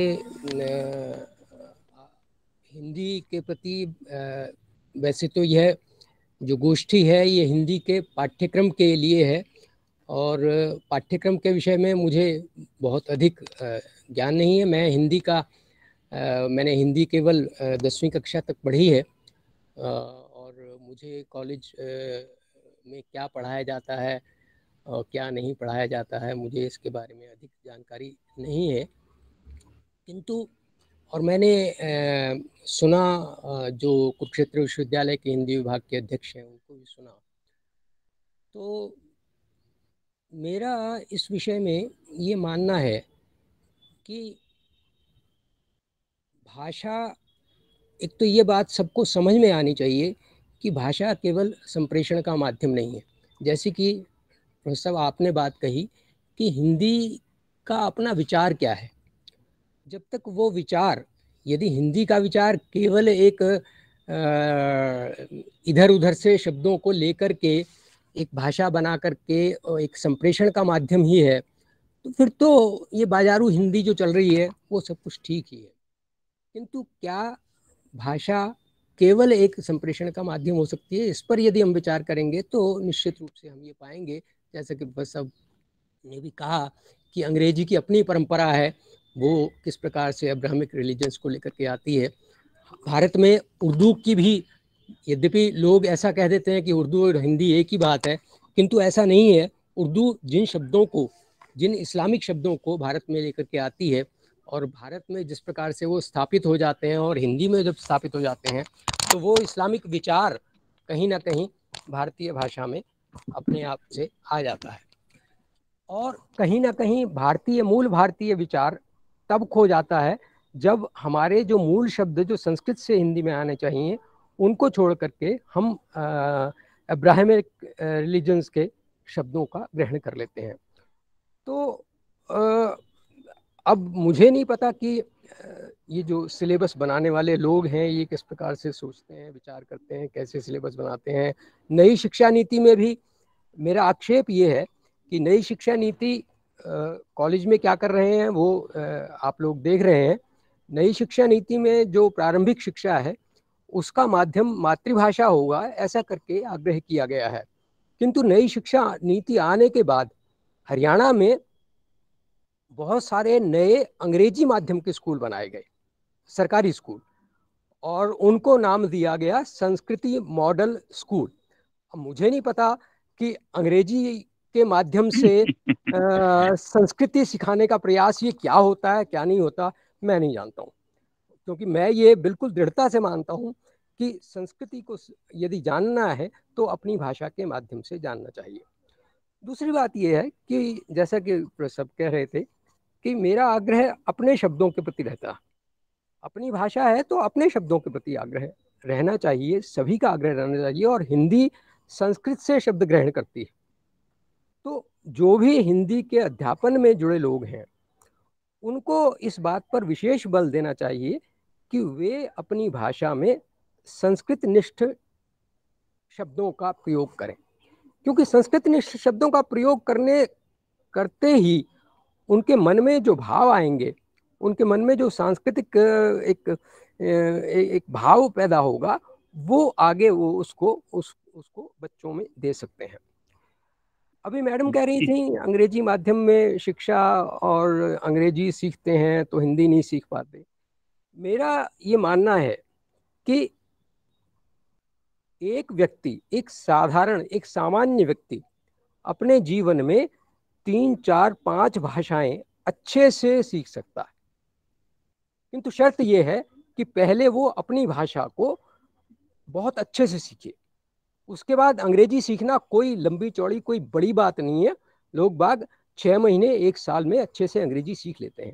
तो ये जो अंग्रेज़ी माध्यम की जो, का जो रोग इस देश में है, ये जब तक रहेगा और अभिभावकों का ये बल कि मेरा बच्चा अंग्रेज़ी सीखे, अपनी भाषा सीखे या ना सीखे और बच्चों को दुधमुए बच्चों के कान में अंग्रेज़ी के शब्द जो जो डालने की परंपरा इस देश में चल रही है मुझे मुझे लगता है कि वो बहुत घातक है और जहाँ तक साहित्य की और पाठ्यक्रम की बात है मैं केवल इतना ही कहूँगा कि पाठ्यक्रम बनाते हुए इस बात का विशेष ध्यान दिया जाना चाहिए कि अंग्रेज़ी का जो परास्नातक है अथवा जो अंग्रेज़ी का डॉक्टरेट है वो हिंदी का जो डॉक्टरेट है हिंदी का परास्नातक है वो अपनी भाषा और भाषा के माध्यम से अच्छा साहित्य का वो में वो पारंगत हो सके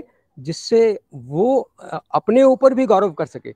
जब उसका उसका ज्ञान अपनी भाषा में संपूर्ण होगा और और अच्छा ज्ञान होगा तो वो उसका संप्रेषण भी कर पाएगा।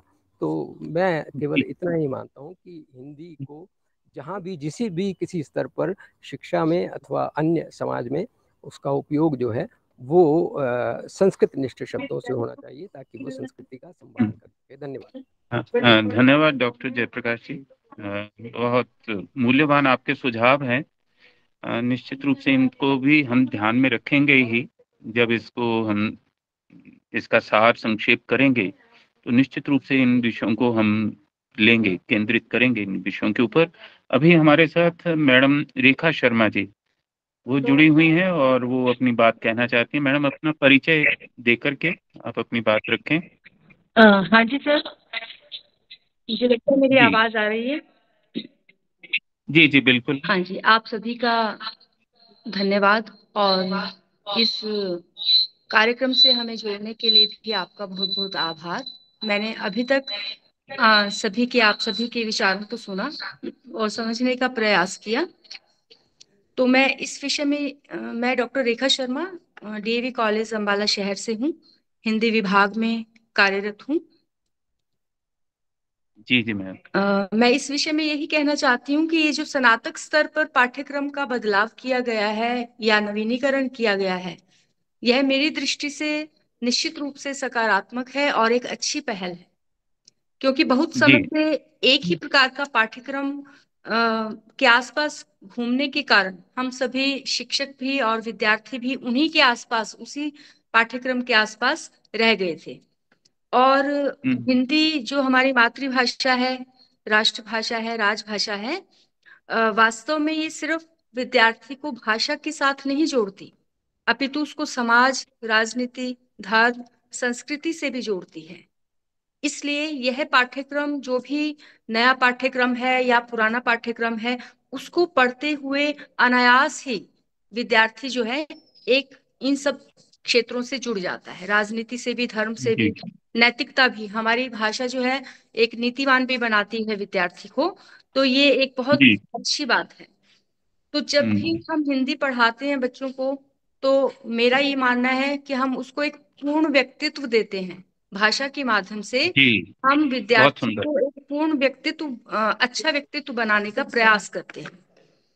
तो जो भाषा है एक चीज़ मुझे लगता है कि प्रथम स्तर से ही प्रथम वर्ष से ही स्नातक के प्रथम हम्म। वर्ष से ही भाषा में व्याकरण का अंश तीनों वर्षों में छह सेमेस्टर्स में छह के छह सत्र में व्याकरण का थोड़ा थोड़ा भागीदारिता होनी चाहिए उसका सिलेबस होना चाहिए। क्योंकि जो हमारे पास बच्चा आता है बीए फ़र्स्ट ईयर में प्रथम वर्ष में आता है वो बारहवीं करके आया है और हम सब जानते हैं कि हमारे जो देश में आठवीं तक बच्चों को बिना ही कुछ किए पास कर देने की जो सुविधा प्राप्त हो चुकी है उसके कारण उसका भाषा ज्ञान बिल्कुल शून्य होता है। जी, जी। आप यकीन करेंगे कि मुझे अभी किसी कार्यक्रम में एक महिला मिली जो कि गवर्नमेंट स्कूल की टीचर थी। तो वो मुझे कहती कि विद्यार्थियों को हिंदी नहीं आती आप क्या पढ़ाते हो कॉलेज में हिंदी को? तो मुझे बहुत हम्म। हैरानी हुई कि पढ़ा पढ़कर तो वो तुम्हारे पास से आ रही है। स्कूलों में क्या पढ़ाया गया? स्कूलों में कैसा पाठ्यक्रम है? कैसी नींव बनाई गई है? हम तो एक फलदार वृक्ष को सींच रहे हैं आपने तो एक बीज को सींचा है। तो जैसा बच्चा शुरू से पढ़ रहा है उसका आधार तो वही बनेगा।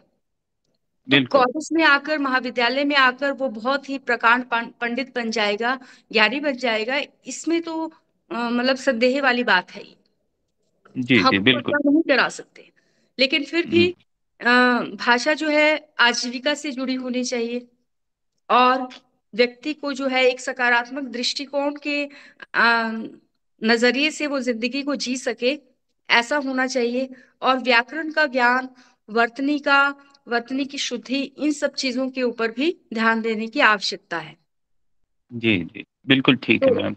जैसे हम बैंक में जाते हैं बैंक में या कोर्ट में जाते हैं कोर्ट की जो भाषा है हम्म। वहाँ के कागजों में जो भाषा है उसमें उर्दू का प्रभाव है। लेकिन जो हम बैंक में जाते हैं वहाँ देखते हैं फॉर्म भरे जाते हैं उन फॉर्म्स के ऊपर हिंदी अगर लिखी होती है तो किसी ही व्यक्ति को वो समझ में आता है फॉर्म। अदरवाइज़ क्या होता है कि वहाँ के जो ऑफिसर्स हैं वही भर देते हैं उस फॉर्म को। हम हम्म, नहीं भर हम्म, पाते हम मतलब हमसे मतलब है एक सामान्य आदमी नहीं भर पाता। तो वो जो हमारी भाषा है वो आजीविका का के माध्यम से भी देखी जाए वो प्रयोजन मूलक की दृष्टि से भी देखी जाए वो कार्यालय दृष्टि से भी देखी जाए और सबसे बड़ी बात है कि वो एक व्यक्ति को एक अच्छा संपूर्ण व्यक्तित्व को देने में भी सफल हो। ऐसा होना चाहिए मेरे दृष्टिकोण से और ये भाषा ये पाठ्यक्रम का जो बदलाव है ये निस्संदेह एक सकारात्मक पहलू है और एक अच्छा बदलाव है। ऐसा मैं बिल्कुल। जी जी मैं बिल्कुल सहमत हूँ आपकी बात से और आपने बहुत अच्छी बात ये कही कि संपूर्ण व्यक्तित्व का निर्माण करती है और निश्चित रूप से जैसी भाषा बोलेंगे वैसा व्यक्तित्व बनेगा। आ, इसके साथ आ, मुझे लगता है किसी और प्रतिभागी ने अपनी अगर कोई बात रखनी है तो ज़रूर हमारे साथ साझा करें। लेकिन उससे पूर्व एक बात मुझे ध्यान आ गई कि सुप्रीम कोर्ट की एक जो निर्णय है जजमेंट है उसमें उन्होंने ये कहा था कि संविधान का अगर हिंदी रूपांतरण जो रूपांतर है वो आ, किसी भी विवाद के क्षेत्र में मान्य नहीं होगा। अंग्रेज़ी में जो लिखा गया संविधान है केवल वही मान्य होगा। और ये बात मुझे बड़ी देर से खलती रही है लेकिन अभी मैडम की बात सुनते सुनते मुझे वो ध्यान आ गया तो मैंने आपके साथ साझा कर लिया। तो जिस देश में हिंदी की मान्यता सर्वोच्च न्यायालय ही स्वीकार नहीं कर रहा तो एक बड़ा अपने आप में एक विचित्र सी बात है। और वो भी विशेष रूप से संविधान के बारे में ऐसी टिप्पणी रखना ऐसा निर्णय देना ये टिप्पणी भी नहीं है निर्णय है उनका कि किसी भी विवाद के संदर्भ में संविधान को लेकर के यदि कोई विवाद होता है तो उसमें अंग्रेज़ी में लिखा हुआ संविधान मान्य होगा हिंदी में स्वीकार्य नहीं है। तो ये बड़ी हाँ एक विचित्र बात है। लेकिन चलिए वो फिर कभी के संदर्भ हैं फिर कभी की चर्चा है। तो यदि किसी और की कोई बात है तो आप संक्षेप में अपनी बात हमारे साथ साझा करें। नहीं तो मैं प्रोफेसर डॉक्टर जी डॉक्टर जयप्रकाश जी। सर अन... जी, जी। अभी अभी एक और सुप्रीम कोर्ट की टिप्पणी है या वो जजमेंट है भाषाओं के संबंध में। वो आई है कि हम तो नहीं सुधरेंगे। हम तो अंग्रेज़ी में काम करेंगे लेकिन आ, हमारा निर्णय भी अंग्रेज़ी में होगा। लेकिन उस निर्णय का आ, अनुवाद भारत की हम्म। सभी भाषाओं में उपलब्ध कराया जाए। जी जी। हाँ ये अभी मैंने हाँ, उनका है हाँ सुप्रीम कोर्ट के जो जजेस का यही हाँ है। हाँ जी। हम्म। सुप्रीम हाँ, कोर्ट के जो जजेस की मानसिकता है भाषा को लेकर के वो बड़ी अजीब गरीब है और ये आपकी बात बिल्कुल ठीक है कि जिस देश का सबसे बड़ा जिसको कुछ लोग न्यायालय कहते हैं मैं तो न्यायालय कभी कहता नहीं हूँ वो ऐसा व्यवहार करेगा तो उस देश में उस देश की भाषा का क्या होगा? धन्यवाद। चलिए ठीक है। आ, हमारे साथ प्रोफेसर जंग बहादुर जी आ, जुड़े हुए हैं। आ, मेरा उनसे निवेदन रहेगा कि वो अपनी टिप्पणी जो है हमारे साथ साझी करें इस विषय पे। डॉक्टर साहब आप मेरी आवाज़ सुन पा रहे हैं? सर अभी शायद वो नहीं जुड़े हुए हमारे साथ लेफ़्ट हो गया। अच्छा जी जी मैडम विजय हाँ और देखिए जो भी अपनी बात हमारे साथ साझा करना चाहते हैं। अनीश जी मंजीत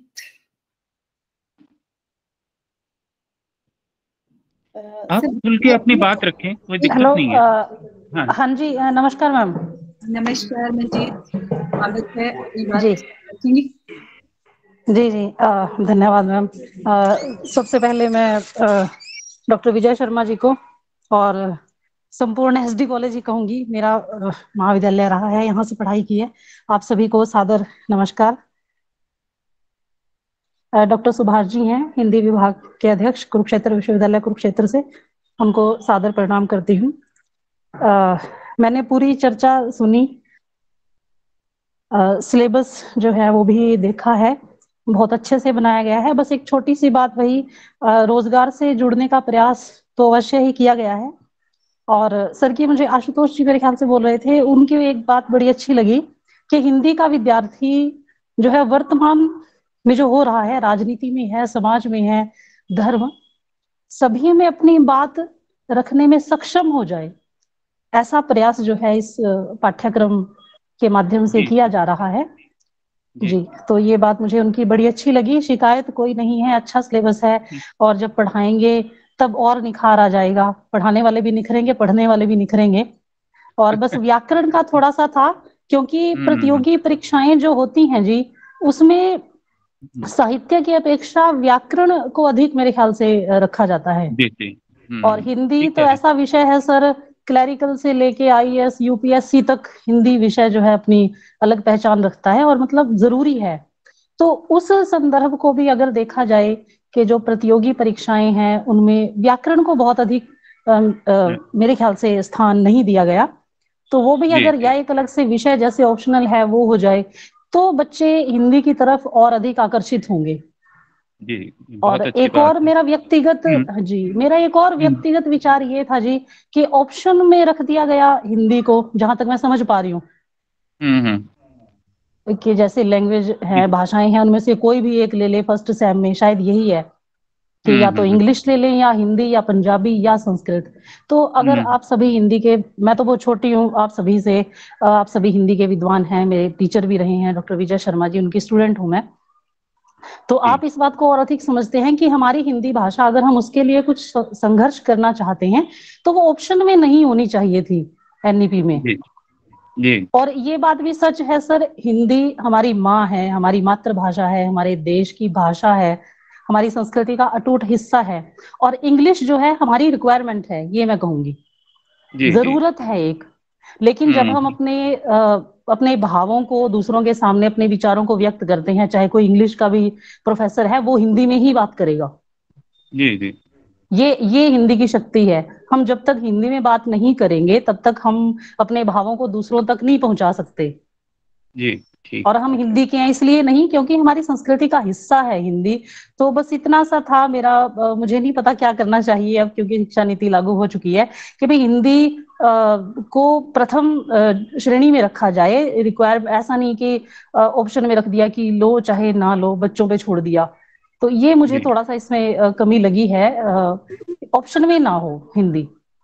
आ, उसका एक तरीका आ, है मैं आपको वो चलाकी वाला तरीका बता देता हूँ और उसके बाद डॉक्टर जंग बहादुर जी हमारे साथ दोबारा जुड़ गए हैं तो वो अपनी टिप्पणी रखेंगे और फिर इस आ, सारी सभा को मैडम विजय कंक्लूड करेंगी संक्षिप्त उसका तरीका ये है कि आप अपने प्रिंसिपल से कहें कि सभी सब्जेक्ट्स में जो है वो सीट्स जो है वो निश्चित कर दें। जैसे अभी होता है कि अंग्रेज़ी और हिंदी की जो है वो सीट्स जो है वो फिक्स्ड हैं अगर 400 सीट्स आपके वहाँ पर उपलब्ध हैं छात्रों के लिए तो 200 हाँ या 300 वो आप पे निर्भर करेगा अपने प्रिंसिपल से फिक्स करा लें। 200 जो डेढ़ सौ है इंग्लिश के लिए हो जाए बाकी पंजाबी के लिए 25 या 10 संस्कृत के लिए तो वो एक हाँ तोड़ है। ठीक है ना? जी मतलब हम अपने स्तर पे कर सकते हैं जी मतलब हाँ, अपने ही हाँ। स्तर पे वही मतलब चालाकी करें या कुछ भी, हाँ, भी सीट हाँ, हाँ, हाँ, क्योंकि ये व्यवस्थाएँ ऐसी ही हैं व्यवस्थाओं में आपको जो है वो उठापटक करनी पड़ेगी। नहीं तो इसको बदलना तो मुश्किल है ठीक है? तो रास्ता मैंने आपको सुझा दिया है। ज़रूर। जी जी ज़रूर तो प्रयास करेंगे सर। और जी। जी जी अंत में आप सभी का डॉक्टर विजय शर्मा जी का और आप सभी माननीय महानुभाव इस सभा में उपस्थित हैं। मैं सादर जो है नमस्कार करती हूँ। धन्यवाद। ठीक है। बहुत बढ़िया मंजीत। और सबसे अच्छी बात थैंक यू ऑप्शन वाला जो है वो मेरे दिमाग में भी था कि अगर हम ये रखते हैं कि तीन भाषाओं में से एक भाषा विद्यार्थी लेगा तो सबसे पहले तो घर वाले सोचते हैं कि बच्चे को इंग्लिश आनी चाहिए तो हिंदी बच्चा हिंदी लेना भी चाहे कि उसको इंग्लिश नहीं ज़्यादा अच्छी आती हिंदी लेना चाहता है जैसे अभी सुधा महिला मैम कह रहे थे। तो लेकिन घर वालों का एक दबाव रहता है कि बच्चा इंग्लिश सीखे। तो इस ये जो ऑप्शन है हिंदी इंग्लिश और पंजाबी में से एक ले तो थोड़ा सा खतरा कहीं हमें लग रहा है कि भाषा पे आ आशुतोष जी ने जो समाधान बताया वो तो कॉलेज के प्राचार्य और मैनेजमेंट पे ही निर्भर करेगा वो कितना इस चीज़ को हमारी बात मानेंगे है ना? जी जी इसके लिए हम लोगों को प्रयास ज़रूर करना पड़ेगा और इकट्ठे होके करना पड़ेगा और ये जो हम आज चर्चा परिचर्चा कर रहे हैं ये उसी की आधारशिला भी मैं मानती हूँ कि हम सब इकट्ठे होके अपने विषय के को बचाएँ और इस पर काम करें और इसको और उपयोगी चाहे पढ़ाने के ढंग से या सिलेबस के ढंग से किस तरह से हम इसको बच्चों के बीच में संवाद जो सुभाष सैनी जी कह रहे थे है ना करे वो वाकई वो बहुत महत्वपूर्ण रहेगा इस समय जो नवीनीकरण हो रहा है। तो हम सब एक, एकत्रित होकर इन सब पे इन सब बातों पे बात करते रहें तभी समाधान जो है वो निकलेगा और हम अपने आप को सशक्त भी समझेंगे इसके लिए। तो डॉक्टर आशुतोष जी अभी अपना पांडे सर को जो है करें हाँ। लेकिन एक बस बधाई दे दूँ जंग बहादुर प्रोफेसर जंग बहादुर पांडे जी को। उनको देश रत्न सम्मान मिला है पटना में। तो आप बहुत बधाई के पात्र हैं सर।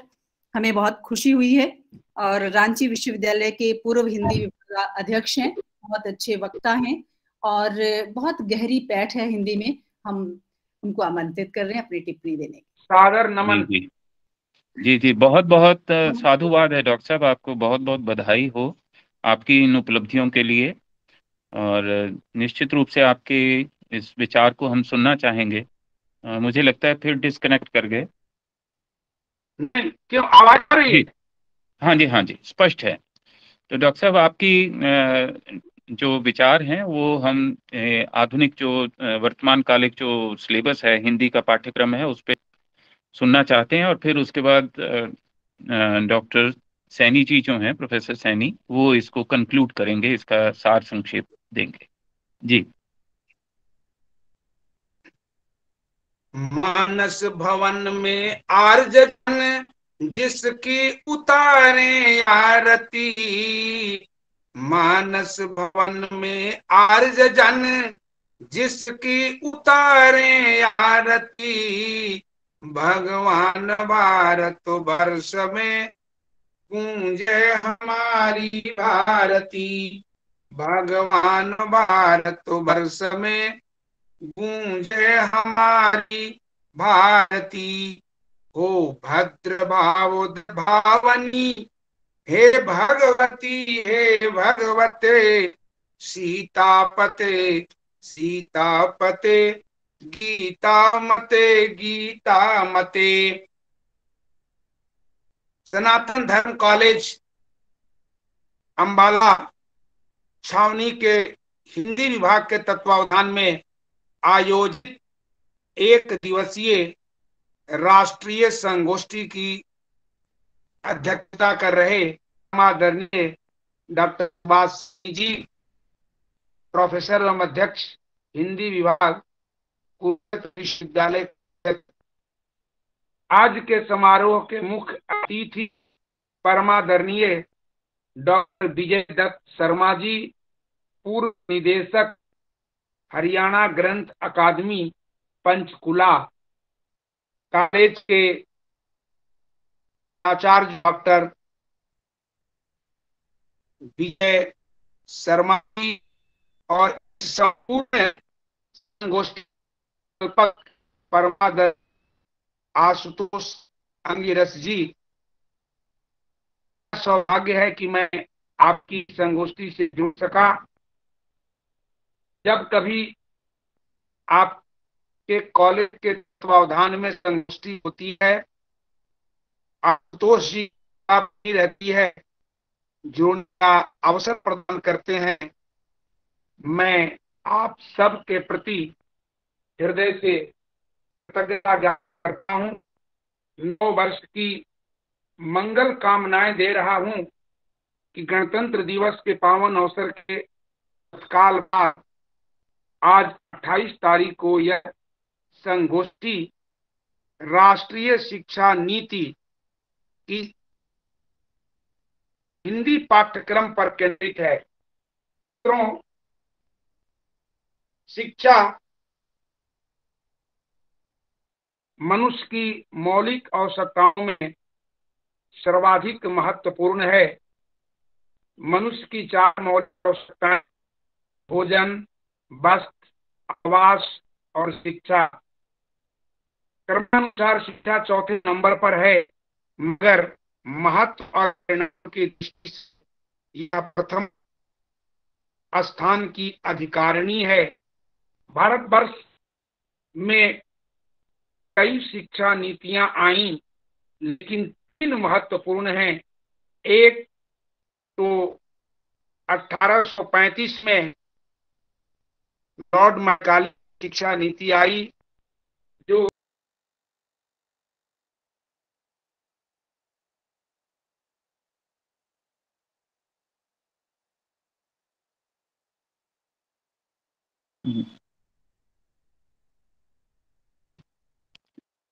डॉक्टर साहब आपकी आवाज़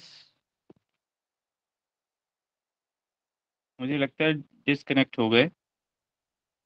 मैडम विजय? हाँ जी सर डिस्कनेक्ट हो गया उनका है ना? नेट की प्रॉब्लम पंद्रह बीस सेकंड और देख लेते हैं नहीं तो उसके बाद आप प्रोफेसर सैनी जी को आमंत्रित करें इस आ, सारी चर्चा का सार संक्षेप। और जो भी इसके ऊपर है और फिर उसके बाद आप धन्यवाद ज्ञापन जो है वो करें। ठीक है सर। हाँ।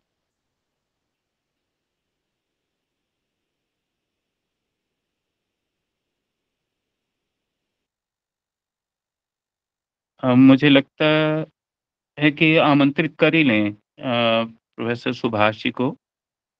आप सादर आमंत्रित करें कि इस सारी चर्चा के ऊपर जो टिप्पणी है सार संक्षेप है और जो विभिन्न आयाम है उन पे वो अपना मत रखें और फिर उसके बाद आप आगे जो धन्यवाद है वो आप करें। मैडम विजय? ठीक है जी जी। करें आप। सुभाष सैनी जी हम आगे हैं। प्रोफेसर साहब ने शुरू में ही बताया था कि इसमें पाठ्यक्रम का जो है उनका बड़ा योगदान इसमें रहा है और जैसे कि रेखा ने भी कहा और मंजीत ने भी कहा और हमें भी लगा कि काफ़ी कुछ पाठ्यक्रम में नया है अच्छा है।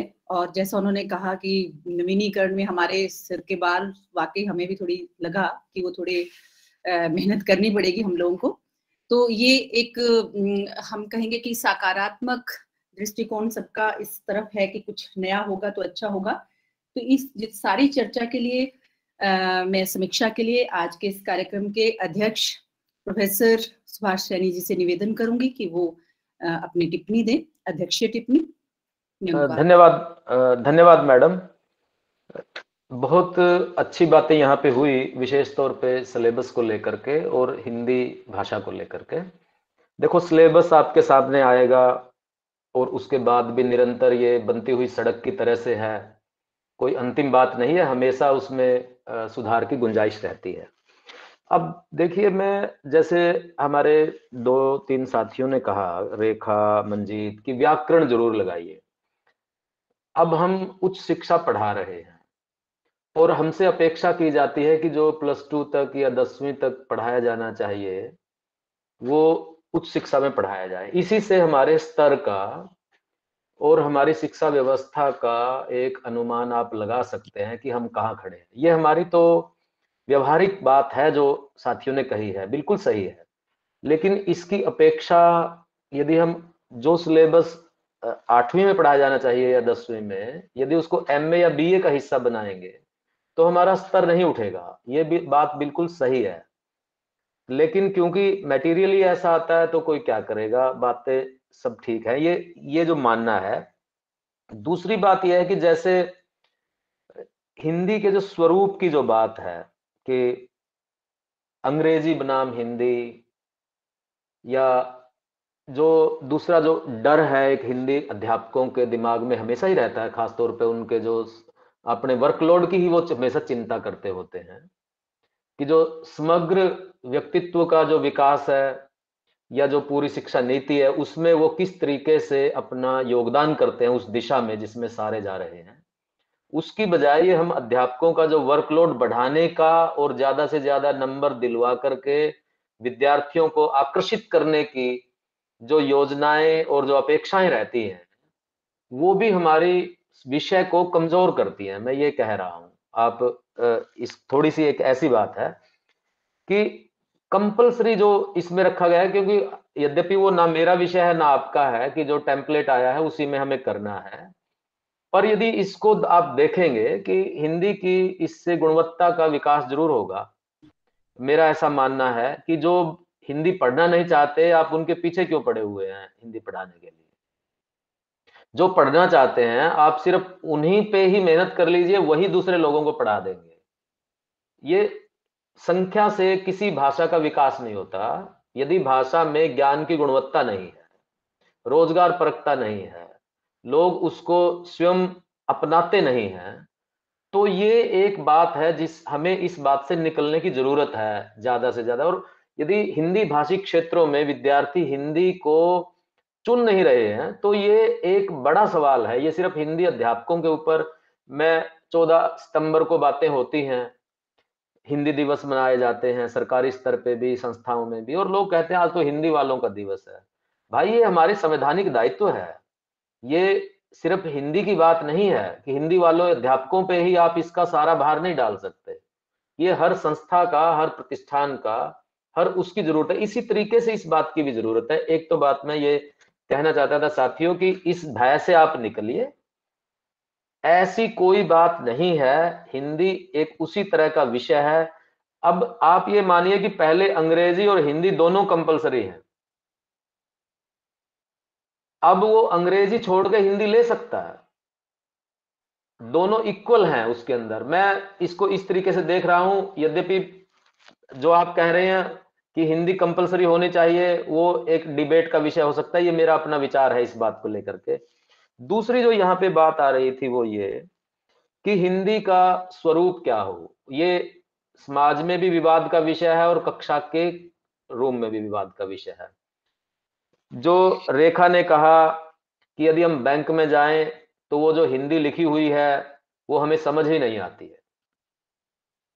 और जो संस्कृत निष्ठता की जहाँ तक बात है कि देखिए हिंदी अपने शब्दों को कहाँ से ग्रहण करे? अब यदि मैं कबीर का वो आपको दोहा सुनाऊं कि संस्कृत भाषा कूप जल और भाखा बहता नीर, ये कबीर ने लिखा जब हिंदी बन रही थी तो इसको जहाँ से भी हिंदी अपनी शब्दावली ग्रहण कर सकती है। देखिए, अंग्रेज़ी एक ऐसी भाषा है जिसका पहला कवि चौदहवीं शताब्दी में माना जाता है, चौसर उसका नाम है। और जो 600 साल के अंदर ही एक भाषा पूरे विश्व की भाषा बन गई। क्यों? क्यों बन गई? उसका क्या कारण है? हर साल एक डिक्शनरी छपती है अंग्रेज़ी की, जिसमें कितने ही सारी भाषाओं के शब्दों को वो अपना लेते हैं और अपना बना लेते हैं। और हम दूसरी भाषाओं के शब्दों को कैसे छांट छांट के बाहर कर रहे हैं तो हम अपनी भाषा को थोड़ा संकीर्ण कर रहे हैं उस रूप में व्यापकता नहीं दे रहे हैं। किसी भी भाषा का शब्द हम ले सकते हैं क्योंकि कोई भी शब्द हमारा बन जाएगा, यदि वो शब्द जो है हमारे व्याकरण के नियमों का अनुपालन करता हो। कितने सारे अंग्रेज़ी के शब्द हैं जो हिंदी में खप गए हैं, जो हिंदी का अनुशासन, व्याकरणिक अनुशासन उन्होंने स्वीकार कर लिया है, या अरबी के, या फारसी के, या उर्दू के, या किसी भी अन्य भाषा के, जिनकी हम पहचान नहीं कर सकते रोटी शब्द है। आप बताइए, रोटी ना संस्कृत का है, ना उर्दू का है, लेकिन हर भारतीय रोटी खाता है। जिस मेज पे बैठ के हम काम करते हैं, वो किस भाषा का शब्द है? और ऐसे अनेक तो जो भाषा जो शब्द हमारे भाषा के व्याकरण के अनुशासन को मानने लग जाते हैं, या मानने की गुंजाइश होती है, वो उनमें उनमें ये योग्यता है कि वो हमारी भाषा में आ सकते हैं। ये उसकी एक पहचान है। तो इसलिए जो शब्द हमारा अनुशासन मान रहे हैं, उसको हम बनाएँ। हम उसके अंदर ढालें। मेरा अपना विचार है ये। तो हमारी भाषा व्यापकता होगी। उसके अंदर वो बढ़ेगी। अब जो 600 साल में अंग्रेज़ी कहाँ पहुँची? और हिंदी सरहपा से शुरू होती है आठवीं शताब्दी से नौवीं शताब्दी से। और हिंदी के बारे में अभी यही बातें चल रही हैं। कि हम जो है इसको कैसे अपने ही देश में बचाएँ। तो ये ऐसा क्यों हो रहा है? इसमें शासन सत्ताओं का, रोज़गार परकता का, नवीनीकरण का, प्रौद्योगिकी का अनेक रीजन है, अनेक कारण है, लेकिन जो भाषा की सक्षमता है, जो उसकी पूंजी है, वो तो उसकी शब्दावली ही है। उसका ज्ञान का भंडार ही, उसकी परिधि है। और वो परिधि, जैसे हमारे कह रहे थे जयप्रकाश गुप्ता जी, कि वो सिर्फ़ संप्रेषण का माध्यम नहीं होती। वो सोचने की शक्ति भी होती है। जो चीज़ संप्रेषण करना है, विचार निर्माण का उत्पादन भी, विचार उत्पादन भी भाषा में ही होता है। और यदि हमारे पास सामग्री ही थोड़ी है तो हम किस तरह से विचारों का निर्माण करेंगे उस सामग्री के साथ? तो थोड़ा हिंदी को व्यापक होना पड़ेगा। थोड़ा हिंदी को यदि हम देखेंगे कि संस्कृत में प्राकृत के कितने शब्द गए, संस्कृत भाषा का खुद का विकास कैसे हुआ? यदि हम यही कहते रहे कि नहीं, लौकिक संस्कृत छोड़िए, आप वैदिक संस्कृत बोलिए। कालिदास में कितने पूरा अभिज्ञान शाकुंतलम यहाँ आशुतोष जी बैठे हुए हैं। आधी उसमें प्राकृत है। संस्कृत साहित्य का आधा हिस्सा। जितनी महिलाएँ बोल रही हैं, शकुंतला एक भी शब्द संस्कृत का नहीं उच्चारण करती है अभिज्ञान शाकुंतलम में। वो सारा प्राकृत है। तो ये जो भाषाओं की, भारतीय भाषाओं की से लेन देन है भारतीय भाषाओं की एक दूसरे के साथ वो है, उसी के तर्क संगति में, उसकी, उसी के सहयोग में भाषाओं का विकास होता है। और हिंदी का जिस तरीके से संबंध है सारी भाषाओं के साथ, यदि हम लोक से जहाँ पे भाषा बनती है, कोई भी भाषा अकादमियों में, विश्वविद्यालय के विभागों में या राज दरबारों में नहीं बनती, सबको पता है। वहाँ सिर्फ़ उसका मानकीकरण होता है वहाँ उसका स्टैंडर्डाइजेशन होता है। वहाँ एक एक जो वर्ग होता है, खास जिस, जो समाज का बौद्धिक वर्ग जिसको कहते हैं, वो उसको अपना लेता है। तो यदि हमारी हिंदी भाषा का लोक के साथ संबंध नहीं है, और वो सिर्फ़ संस्कृत निष्ठता या जो शास्त्रीय जो शब्दावली है, उसकी तरफ़ हम जाएँगे तो हिंदी का विकास रुकना स्वाभाविक है। संस्कृत जैसी समृद्ध भाषा किस किस तरीके से आम लोगों के व्यवहार से बाहर हो गई। वो सिर्फ़ विद्वानों की भाषा बन के रह गई। कितनी समृद्ध भाषा है, कितना समृद्ध ज्ञान है संस्कृत का। उसके यदि कारणों पे जाएँगे तो उसमें भी हम ये पाएँगे कि जैसे जैसे हम उन नियमों को इतना कठोर बनाया गया कि खिड़की हवा अंदर आने के रास्ते बंद हुए, ये भी एक कारण है उसमें। तो हमें हिंदी को निरंतर यदि विकास मान रखना है निरंतर यदि उसको विकसित होने देना है तो उसके लिए शब्दावली का स्वागत करने की ज़रूरत है। मैं स्वयं ऐसा महसूस करता हूँ। नहीं तो जो वो एक थोड़ी सी कविता लिखने की विभागों की भाषा बन के रहेगी, वो शासन प्रशासन की भाषा कैसे बनेगी? जो नई नई समस्याएँ आ रही हैं, उन नई नई समस्याओं पे निर्णय देने के लिए जिन शब्दों की ज़रूरत है जो नई नई प्रौद्योगिकी आ रही है, उसको लोगों के साथ तालमेल बनाने के लिए जिस शब्दावली की ज़रूरत है, उन सब चीज़ों की ज़रूरत के साथ ही यदि हमारी भाषा भी उसके साथ विकसित होती है, तभी मेरे ख्याल से हम जो, देखो, हिंदी प्रेम जिसको हम कहते हैं, वो सिर्फ़ अंग्रेज़ी विरोध में नहीं होता है। हिंदी के विद्वान जो ये कहते हैं कि हिंदी राष्ट्रभाषा है या हम मातृभाषा है, वो दूसरी कितनी भाषाएँ जानने का प्रयास करते हैं? वो संस्कृत ही कितनी जानते हैं?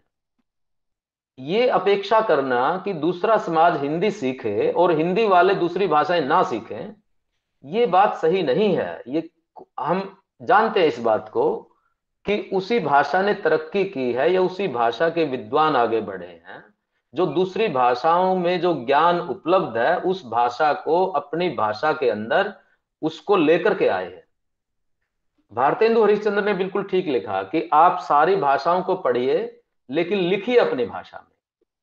यदि हमने बैन कर दिया, यदि हमने प्रतिबंध ही लगा दिया दूसरी भाषाओं से जुड़ने का या किसी भी चीज़ का तो वो बात सही नहीं होगी। संस्कृत निष्ठता की अपनी एक जगह है, लेकिन विकास का जो रास्ता है भाषा का, जो मार्ग है, वो लौकिक पथ है।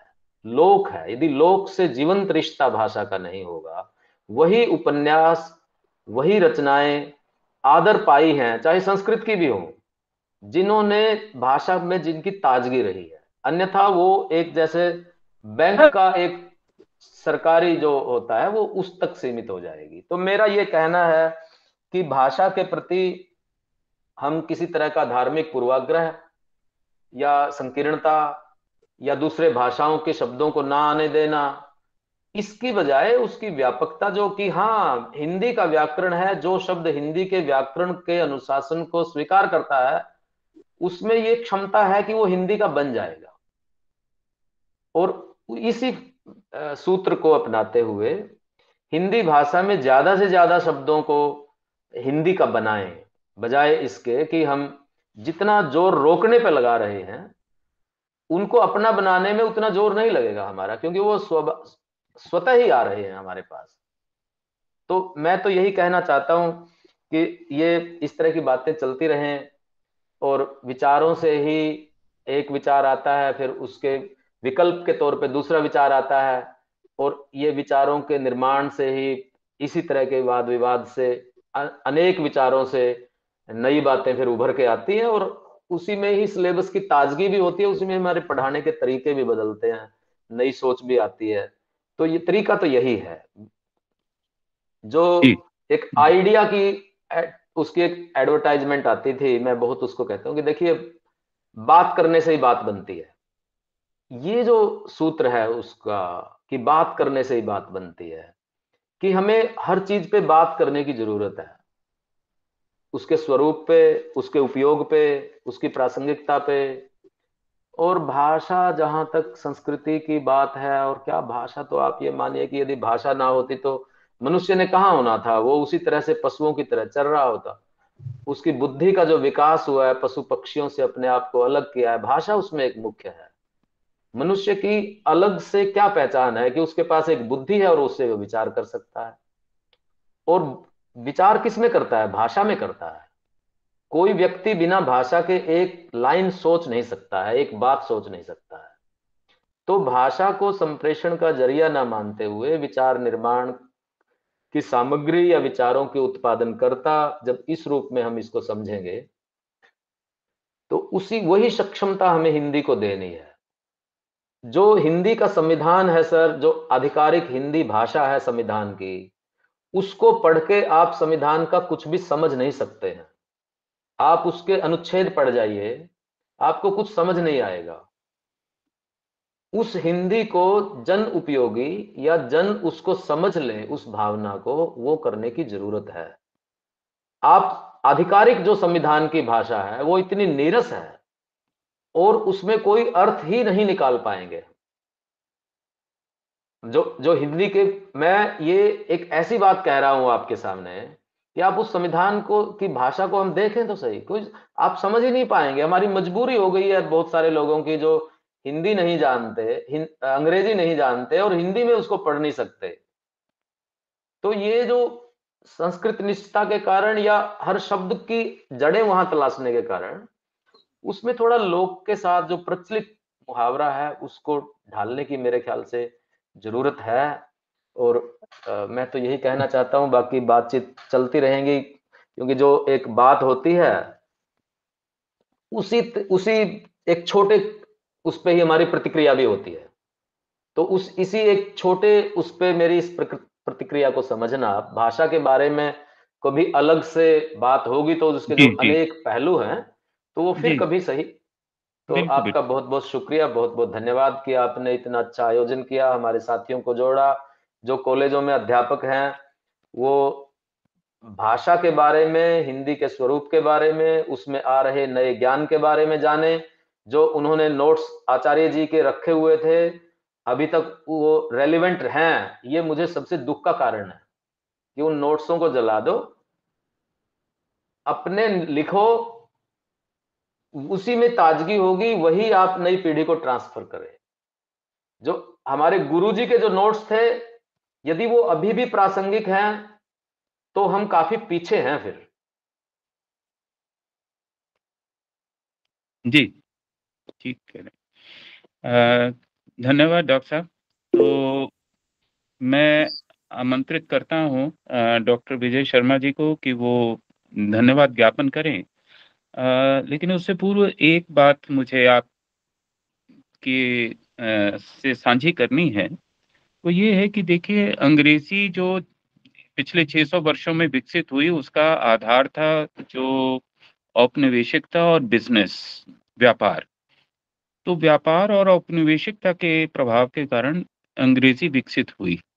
और वहाँ पर जो विज्ञान, जिस विज्ञान की हम बात करते हैं, वो भी विकसित हुआ तो वहाँ पर जिस तरह का एक समाज, चर्च के अधीन रहा, किंग के अधीन रहा, वो बहुत सारे कारण है और उसको हम फिर कभी लेंगे।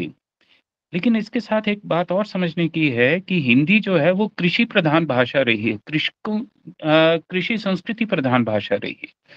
इसलिए हमें अपनी जड़ के पर खड़ा होकर के अपनी जड़ को पकड़ करके उन सारे शब्दों को देखना है मूल्यांकित करना है कि वो हमें विकृत ना कर दें। वो ये रहा है कि वो जो आ, उनकी भाषा के शब्द हैं उन्होंने हमें विकृत कर दिया वो उस रूप में नहीं आए। जैसे मैं आपको बताता हूँ दो उदाहरण बहुत सरल से। एक है किंग शब्द। अब किंग का अर्थ आप राजा कर देते हैं बिना ये जाने कि राजा का अर्थ किंग नहीं हो सकता।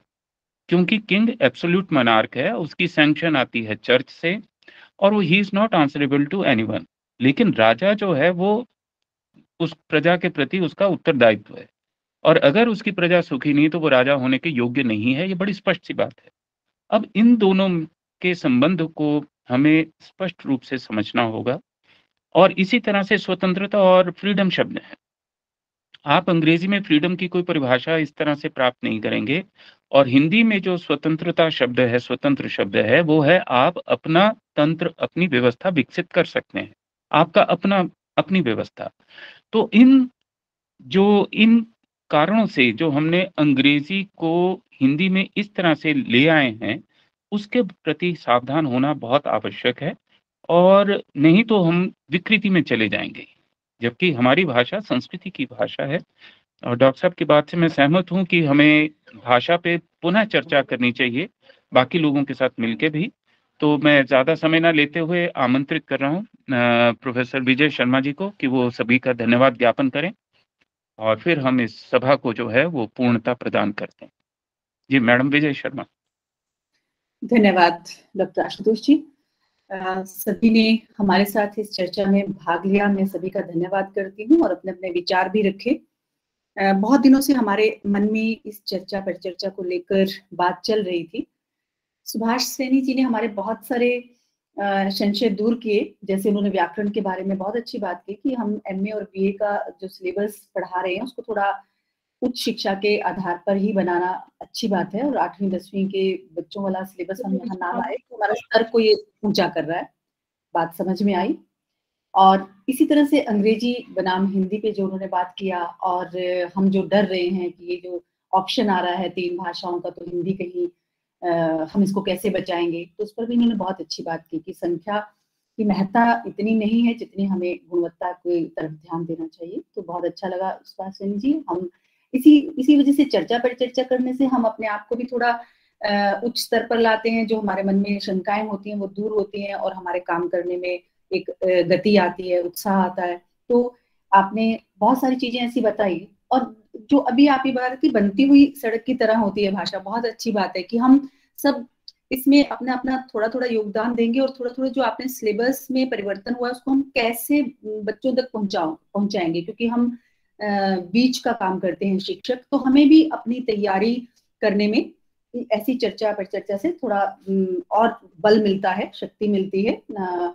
तो कर्म क्षेत्र जो है वो विस्तृत होता है एक दूसरे से बात करने में। तो सबसे जो आप अभी कह रहे थे कि हमारी हिंदी भाषा जो है, आधिकारिक भाषा जो है वो ऐसी है कि वाकई हम उसको नहीं समझ पाते। और हमें ये सच में ऐसा लगता है कि उससे आसान तो फिर इंग्लिश हो जाती है। हम हिंदी भाषी लोगों के लिए ये भी एक बहुत बड़ी बात है कि भाषा हिंदी है, लेकिन वो इतनी कठिन है कि हम हिंदी वाले ही उसको समझ नहीं पाते हैं और हम उससे किनारा कर लेते हैं और उससे ज़्यादा आसान इंग्लिश लग रही है हिंदी वाले लोगों को। तो इसके ऊपर भी थोड़ा सा चर्चा हम ज़रूर करेंगे भाषा पर और अंग्रेज़ी 600 सालों में वहाँ तक पहुँच गई और हम जो है अभी तक अपनी भाषा के लिए अपने ही देश में कितने दरिद्रता का अनुभव करते हैं कई बार। और ये सारी चीज़ें हमारे सामने आपने रखी और बहुत अच्छी तरह से रखी, बड़े तर्क के साथ रखी तो बहुत अच्छा लगा। आगे भी इस चर्चा को हम जारी रखेंगे और विषय के साथ, भाषा के साथ। और हमारे ये सभी साथी जो हैं, शिक्षक साथी आज हमारे साथ जुड़े, सबने बहुत ही अच्छे से इसमें प्रतिभागिता की और बहुत कुछ सीखा होगा, बहुत कुछ अपने आप में हमें बल मिला है। और हम अगले उसके लिए, सत्र के लिए अपने आप को तैयार करेंगे। तो उसके लिए बहुत बहुत धन्यवाद, जिन्होंने और भी विभाग के प्रोफेसर हमारे साथ जुड़े हुए थे। डॉक्टर परमजीत कौर हमारे पास हिंद, संगीत विभाग से थे। जयप्रकाश गुप्ता जी, जबकि हिंदी से बहुत प्रेम करते हैं और हमारे हिंदी दिवस पे भी हमेशा आते हैं। राष्ट्रभाषा विचार मंच के संस्थापक हैं, संरक्षक हैं। तो इन्होंने भी अपने डॉक्टरी करते मतलब अपना पेशा इनका डॉक्टर का है, आयुर्वेदिक चिकित्सक हैं, लेकिन हिंदी के बारे में बहुत सोचते हैं। इनका भी मैं बहुत धन्यवाद करती हूँ। किन पुनिया मैम का, विकास सल्यान सरयू मैम। तो जितने लोग मुझे यहाँ दिखाई दे रहे हैं, एक बार पुनः उन सबका मैं धन्यवाद करती हूँ। और अगली चर्चा परिचर्चा के लिए आपको मैं पहले ही निमंत्रण देती हूँ कि जब भी हम इस तरह की करें या आप करें, हम एक प्लेटफॉर्म पे ऑनलाइन इकट्ठे हो सकते हैं और ये बिना अपना समय व्यर्थ किए हुए हम अपनी अपनी जगह बैठकर अगर चर्चा कर सके और उसमें से कुछ अच्छे परिणाम निकल सके तो वो पूरी शिक्षा जगत के लिए अच्छा होगा। सबसे ज़्यादा धन्यवाद के पात्र आज हैं डॉक्टर आशुतोष आंगिरस जी। वो सूत्रधार थे इस कार्यक्रम के, प्रेरणा स्रोत थे इस कार्यक्रम के और सच सारा मंच जो है उन्होंने संभाला और सारे प्रश्न भी उन्होंने ही निकाले। तो वो विशेष धन्यवाद के पात्र हैं। शब्दों की कमी है मेरे पास उनके लिए धन्यवाद रखने के लिए धन्यवाद प्रस्ताव प्रस्तुत करने के लिए। और जंग बहादुर पांडे जी जिनको हम पूरा नहीं सुन पाए नेट नहीं जी जी मैं क्षमा प्रार्थी हूँ। डिस्कनेक्शन के कारण कुछ कह नहीं पाया। हाँ। लेकिन आपके प्रयास की सराहना करता हूँ। धन्यवाद सर आप जुड़े और आपका मैं बहुत बहुत धन्यवाद करती हूँ। फिर किसी दिन आपका बहुत वीडियो ऑन नहीं है एक अनुरोध करेंगे कि जब भी वक्ता बोले अपना वीडियो तो ऑन रखें कि लोग देख सके। हाँ वेरी गुड चलिए बताइए चलिए। तो ये बहुत बहुत धन्यवाद सभी का। सुभाष सैनी जी आप इसी तरह से हमारा मार्ग प्रशस्त करते रहें और हमें जो है बल प्रदान करते रहें। और हम अपने कार्य में जो है सक्षम हो सके जो भी आप नवीनीकरण कर रहे हैं अच्छे बहुत अच्छा लगा मंगलम मंगलम। सुभाष जी का वीडियो अभी ऑन हुआ जब बोल रहे थे नहीं किया इन्होंने।